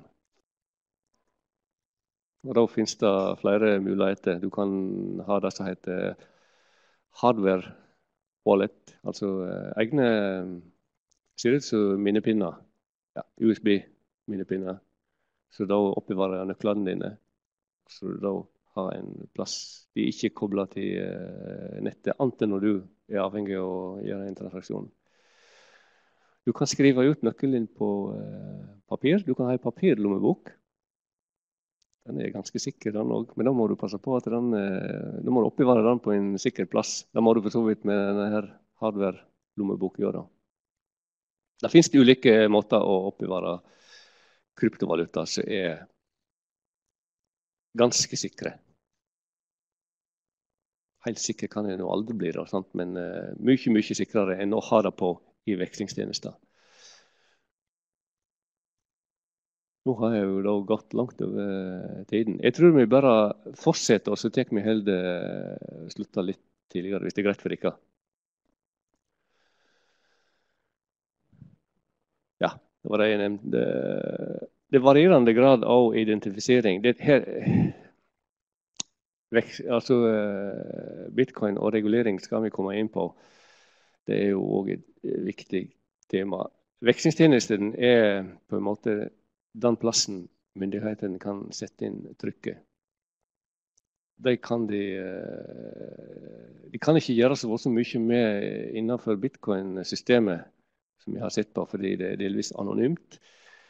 Det er umulig å stoppe en bitcoin-transaksjon, har vi sett. Eh, så der er det vanskelig å regulere innenfor systemet. Det du kan regulere, er de som opererer med vekslingstjenester. Eh, og det blir òg gjort i større og større grad. Det blir sett krav om at eh, de skal identifisere kundene sine. Det kommer nå eh, nye hvitvaskingsregler, lovverk, òg i Norge, som vil tvinge de aktørene her til å identifisere kundene sine. Så langt så har ikke de behøvd å gjøre det. Så hvis vi skal handle nå med Sturle etter 15.10, så uh, må de identifisere dere. Stort sett ikke noe stort problem, da, men uh, i og med at han, han, handler jo med folk over hele verden, så kan det jo skape litt utfordring for han, da. Ja. Ikke dine nøkler, ikke dine penger. Denne gruppa er ikke så stor å ha, ikke vokse, ha noe særlig. Det er ikke mange, det er ikke mange plasser du får brukt bitcoin eller andre valuta, kryptovaluta i dag. Så hva skal du gjøre da med bitcoin? Det er jo sikkert bare håpe på at kursene går opp. altså investering. Spekulasjon, om du vil så er det bare et annet uttrykk for investering. Kanskje med kortere horisont, var det vi snakket om sist eh, time. Det kan hende at dette forandrer seg, for nå er det på gang et nytt system i eh, bitcoin som heter Lightning Network. Og det det går ut på, er å ta betalinga vekk fra blokkjeda og over i et system som opererer utenfor blokkjeda. Og så bruker du blokkjeda bare til å avstemme innimellom. Altså, du reserverer visst mye bitcoin. Du setter den på og reserverer den på en slikt Lightning-nettverk, og så handler du lynraskt gjennom det systemet. Og på et eller annet tidspunkt så avslutter du eh, handelen, og så overfører du saldo til eh, hovedboka, eller blokkjeda. Så du prøver å belaste blokkjeda minst mulig. Du bruker den til de store, viktige tingene fordi det er ineffektivt. Det er dyrt. sant? Og du vil ha et mye enklere system. Hvis du skal kjøpe småting for uh, bitcoin, du trenger ikke uh, at hele verden skal samtykke. Det er jo det du egentlig gjør da, med en vanlig bitcoin-betaling. Du trenger samtykke fra hele verden. Ikke vits i det du skal kjøpe en uh, kaffekopp oppe i kantina. Så det gir jo mening å ta den vekk fra uh, blokkjeda. All kjøp i kantina og alle andre plasser, da gjør du med det her Lightning-nettverket eller tilsvarende. Det kommer sikkert òg flere forslag. Men dette er jo et voldsomt aktuelt eh, system som blir utprøvd i disse dager. Og Da går handelen direkte mellom eh, meg og Olav Arild eller noen andre. og kan gå via Martin, eller han kan gå via deg. fordi du, eh, Den store forskjellen òg i, eh, i eh, måten transaksjoner blir sendt på, er i bitcoin er det kringkasting. Altså ut til hele verden. Alle mottar transaksjonen og sender videre. I Lightning Network så er det punkt til punkt. Jeg betaler deg via Lightning. Enten så når jeg deg med en direkte Hvis jeg har en direkte forbindelse til deg, så når jeg deg eh, rett kortest veien. Kanskje må jeg gå via Harald eller Robert, som har òg installert uh, Lightning-klient. Men da, fordi du har en forbindelse til en av de to, da går du via der. Så, altså på en måte TCP-IP måten. Så da er raskeste vei gjennom ulike punkt. Akkurat samme metoden med Lightning. Mye raskere.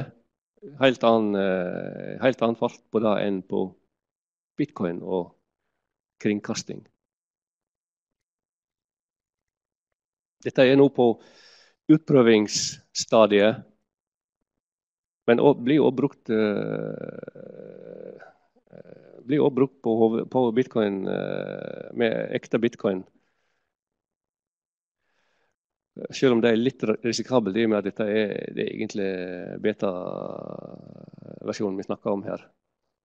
Men jeg så uh, en oversikt Det likevel var 700 000 dollar som nå er plassert i slike lightning-kanaler. Så hvis et eller annet skjer med denne beta-programvaren, så ryker jo det, da. Men, eh, for hver enkelt er det små summer. Og det er satt opp slik at det, det håndterer kun små summer per i dag. Mindre enn en bitcoin du kan sette opp på en slik kanal.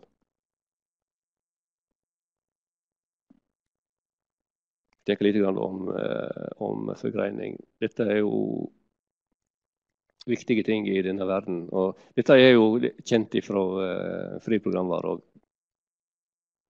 Tenk på Linux. Har ganske mange uh, varianter av Linux. Av ulike grunner. da. Det er fri programvare. Alle kan ta koden og lage sin variant. Ingenting som stopper oss fra det. Samtidig i uh, kryptoverden Koden ligger tilgjengelig. Du kan bare ta den og forandre den og lage din egen valuta hvis du vil. Men så må du jo få oppslutning om den. Det er jo det som er utfordringen der.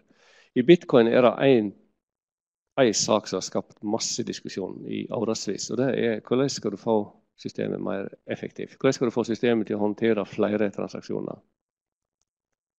Bitcoin i dag håndterer teoretisk sju transaksjoner per sekund. Det er lite sammenlignet med eh, andre betalingssystemer. Og da, Noe av det som setter begrensningen, er størrelsen på blokkene. Og selvsagt frekvensen av blokker. Blokkene har en eh, begrensning på 1 megabyte i størrelse.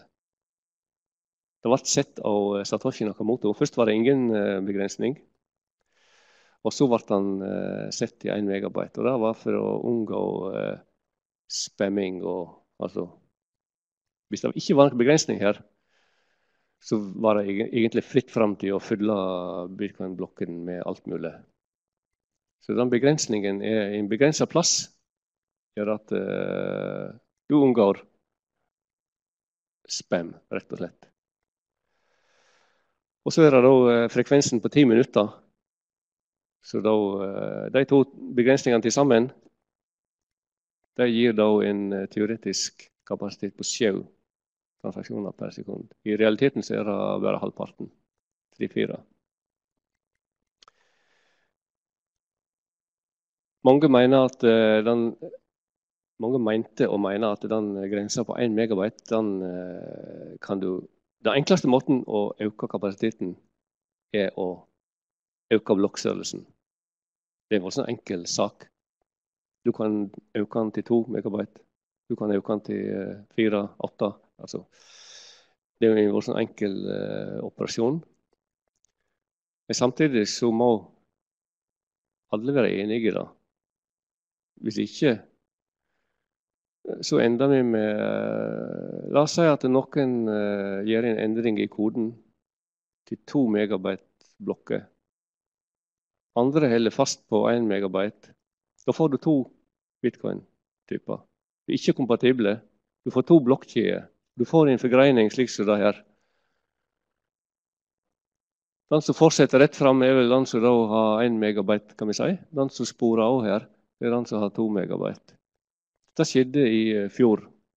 Etter flere års intens diskusjon så bestemte noen seg for å ja, vi, vi øker blokkstørrelsen uansett. Ikke si hva de vil. Sant? Og vi har um, vedlikeholdsarbeiderne, graverne, med oss. For de, de må du òg ha med deg. Så da gjør vi det bare. Og det gjorde de. Og vi fikk en splittelse i uh, to system, to bitcoin. Den bitcoin som vi kjenner med 1 megabyte blokker, og den nye som ble hetende bitcoin cash, så da hadde to megabyte blokker. Nå har de senere økt enda mer. Jeg lurer på om det er jeg, ikke, jeg tror det er åtte jeg nå. Men, for det, det er altså det de kaller big blockers. Det er de som er tilhengere av å øke blokkstørrelsen for å få raskere, mer kapasitet, men òg å få billigere transaksjoner. Det er viktig for dem. Så billig som mulig transaksjoner, helst nesten gratis.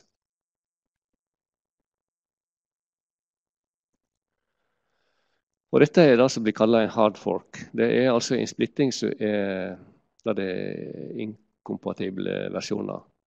Fungerer ikke på tvers av hverandre. Du får egentlig en helt en ny valuta.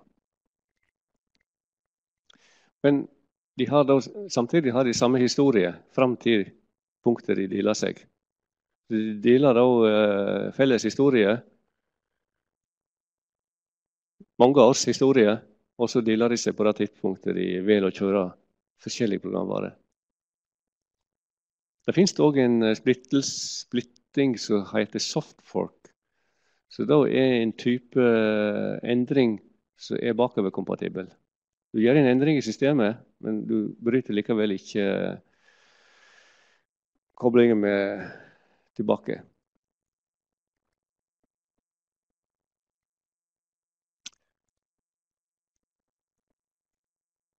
En hard fork, altså en, eh, en hard splitting, det er en utviding av reglene. Altså en slakke av på kravene. Det, det, høres litt lite intuitivt ut, men det er altså å slakke på kravene, utvide reglene. Mens en softfork det er en innstramming av reglene. Hvis vi, eh, og da ser du her gir på en måte meninger, fordi du, du, strammer inn reglene her, men du er fortsatt innenfor det opprinnelige. Hvis du utvider her, så får du et nytt territorium her. Andreas Antonopoulos, som vi så, har sett flere videoer, han eh, hadde en, en, bra analogi. La oss si at du har en restaurant. Du har en restaurant som er vegetar. Har vegetarretter på menyen. Og Så bestemmer de seg for å introdusere kjøtt. Det vil være det samme som en hard fork. Fordi eh, da eh, utvider du på en måte Du utvider menyen. Eh, og det kan bli vanskelig for en del av de gjestene som har pleid å gå der. Hvis restauranten går over til å servere vegan mat, så vil det være en innstramming av eh, reglene. Og vegetarianere kan fortsatt ete der. Selv om de er vegetarianere, så, kan de jo eh, Vegan er innenfor vegetarianermiljøet, eller gruppa.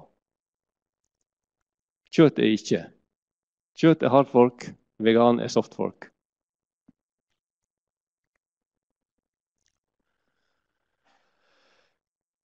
Og så er det noen merkelige ting her, eller ikke merkelige, men, men i og med at de har felles Hvis vi tar bitcoin, bitcoin cash som utgangspunkt I det øyeblikket eh, det ble en splittelse her Alle som hadde bitcoin før den splittelsen, de fikk da bitcoin på begge blokkjeder. Fordi de har samme historie.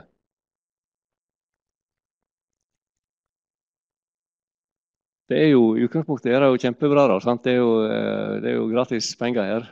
Blir delt ut uten at du har gjort noe. Samtidig så kan det òg bli forvirrende. Og forvirrende på flere måter. Nå har vi, Jeg tror jeg så en oversikt eh, at eh, det er laga over 70 forgreininger av bitcoin bare det siste året. 70. Det er litt å gjøre, da. sant? Det, og egentlig betyr det at de som har hatt bitcoin før disse forgreiningene, de har bitcoin på 70 ulike blokkjeder. De, bitcoin, de nye bitcoin du får der, det, det er egentlig bare å glemme. Um, men akkurat når det gjelder bitcoin cash, så var det en så um, Det var såpass stor gruppering som valgte å gå i den retning at uh, den fikk brukbar verdi likevel. Ikke mer enn en tidel av eh, vanlig bitcoin, men likevel, da. Nok til at det var eh, verdt å ta med seg. Så når du da har bitcoin fra før, så har du både bitcoin cash og du har bitcoin og skaper problem fordi du kan lett eh, bruke feil bitcoin når du skal prøve å eh, bruke disse, realisere dem. en annen illustrering her. La oss si du hadde eh, bitcoin før 1.8 i fjor. Etter den forgreiningen så hadde du fortsatt den eh, ene bitcoinen på La oss kalle det hovedbitcoin-blokkjeda. Samtidig så hadde du én en bitcoin cash òg. Den ene bitcoinen ble plutselig til uh, egentlig to Kun, kan brukes på begge blokkjeder. Når det skjer, så må du være voldsomt forsiktig at ikke du på en måte bruker feil eh, bruker feil, overfører feil bitcoin. Du tror du overfører den bitcoin der, og så eh, er du uheldig, og så er det faktisk den der du bruker. Fordi de, de har òg ulik verdi. da. Plutselig har du betalt med noe som bare er en tidel av uh, verdien. Ofte så blir det bygd inn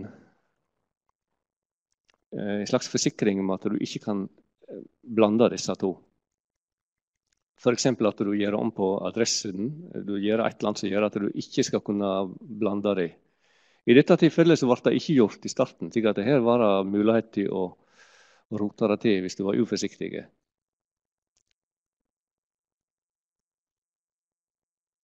Og det er jo òg fordi dette var en sånn omstridt uh, splitting. Ingen av gruppene ville gi seg. Ingen ville uh, legge noe arbeid i å prøve å beskytte kundene eller brukerne.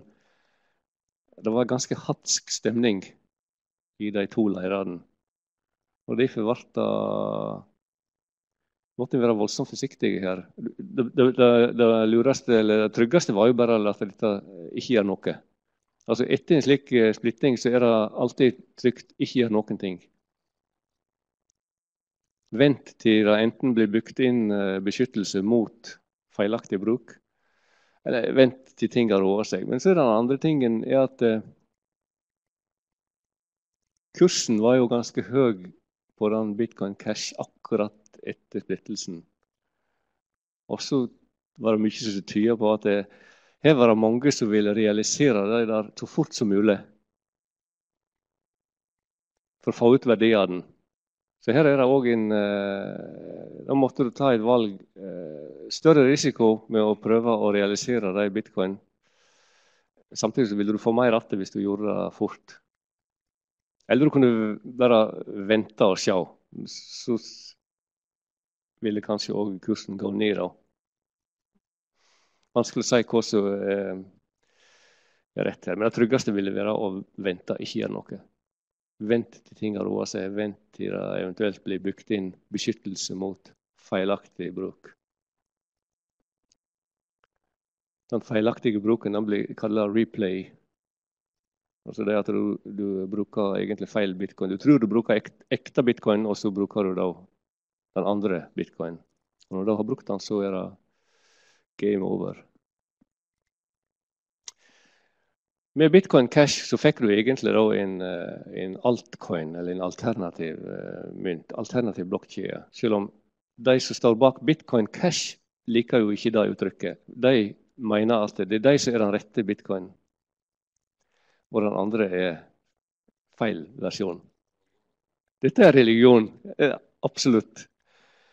Dette er helt identisk med religiøse debatter. Du vet hvor, hvor, hvor voldsomme de kan bli. Og litt det samme ser du her òg. Men det er i hovedsak tre måter å lage eh, altcoins, altså alternative kryptovaluta. Altcoin, Navnet kommer av bitcoin var den første. Alle andre kommer etterpå å bli kalla alternative, eller bli kalla altcoins i systemet.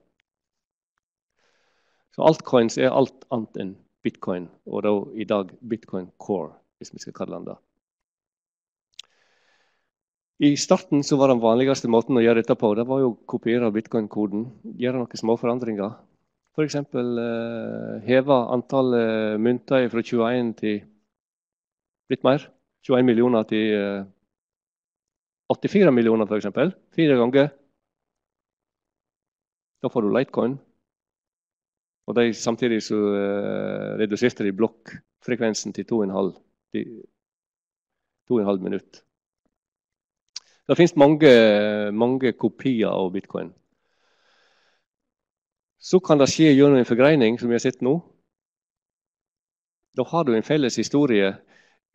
Litecoin har ingen felles historie med bitcoin, fordi den var bare en kopi av koden og så starta Litecoin med sin egen blokkjede fra første stund.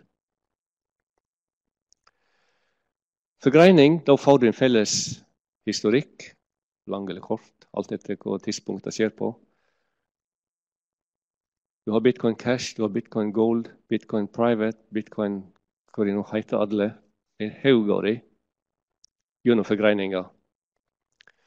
Og den tredje er med å skrive ditt eget program fra grunnen av. Men selvsagt med, med inspirasjon fra bitcoin. da. Den viktigste her er kanskje Ethereum, som er da nummer to i verdi i dag.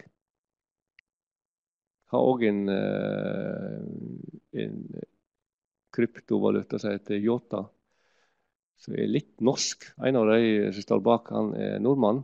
Han har jo fått spesielt mye oppmerksomhet i Norge. da.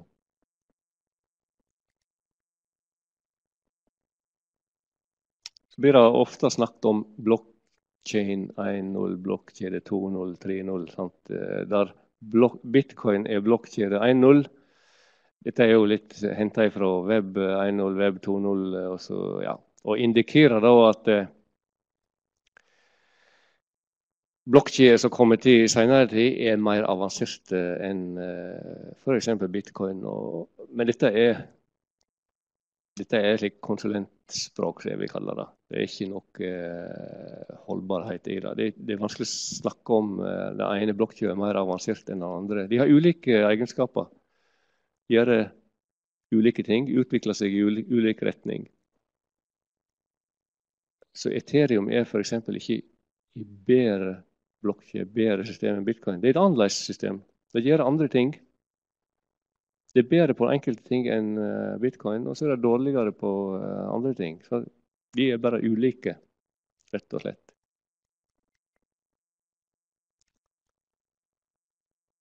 Jeg tror vi slutter med to skjermbilder som viser hvor, fort dette forandrer seg. Dette er en oversikt over de ti mest verdifulle eh, kryptovalutaen september 2013. Vi kjenner de tre første, kanskje. Bitcoin, ja, klart. Lightcoin vi har hørt om. Ripple har jeg gjerne hørt om. Og resten her er um, ute av ti på topplista i dag. Fem år senere så ser den lista slik ut. Bitcoin fortsatt på topp i verdi. Ethereum har kommet opp på andreplass. Ripple er fortsatt på tredje i verdi. Og Der har vi Bitcoin Cash, så da var denne avsporingen eller splittelsen. Så har vi eh, Litecoin er fortsatt der, ja. Den har rykka ned til sjuendeplass. Ellers er det nye valuta på lista. Ripple er ikke helt uh, stovrein i, uh, i uh, visse kryptomiljø. Fordi den nok, er nok mer sentralistisk enn bitcoin og andre valuta. Den har konsentrert makta om noen spesielle noder. Den har lagt seg tett opp til bankene, så prøver å være bankene sitt foretrekte kryptoalternativ. Det er jo eh, det er bankene vi skal kvitte oss med med dette systemet. Nei, det er jo bare altså en del, De, de mest ekstreme ser jo eh, selvsagt bitcoin og kryptovaluta som en måte å ta over verden på. sant, og ta over det finansielle. Det er jo ja. Ripple har lagt seg tett opp til eksisterende finanssystem, og det blir ikke godt mottatt overalt. Så det er helt rett.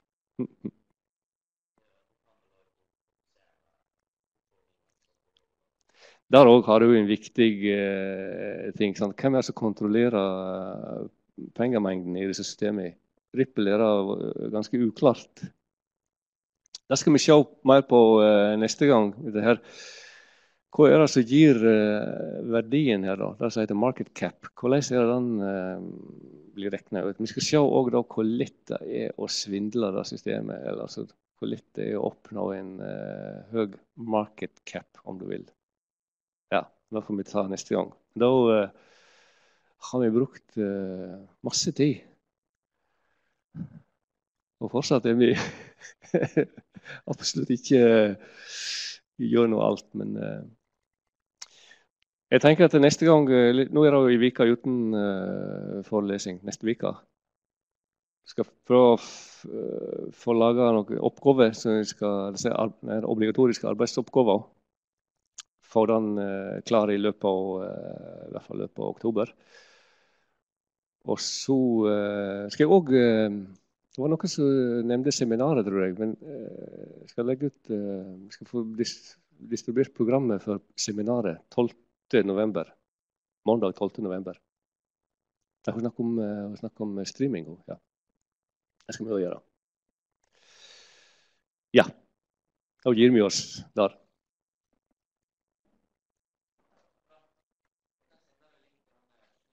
Ja. Flott.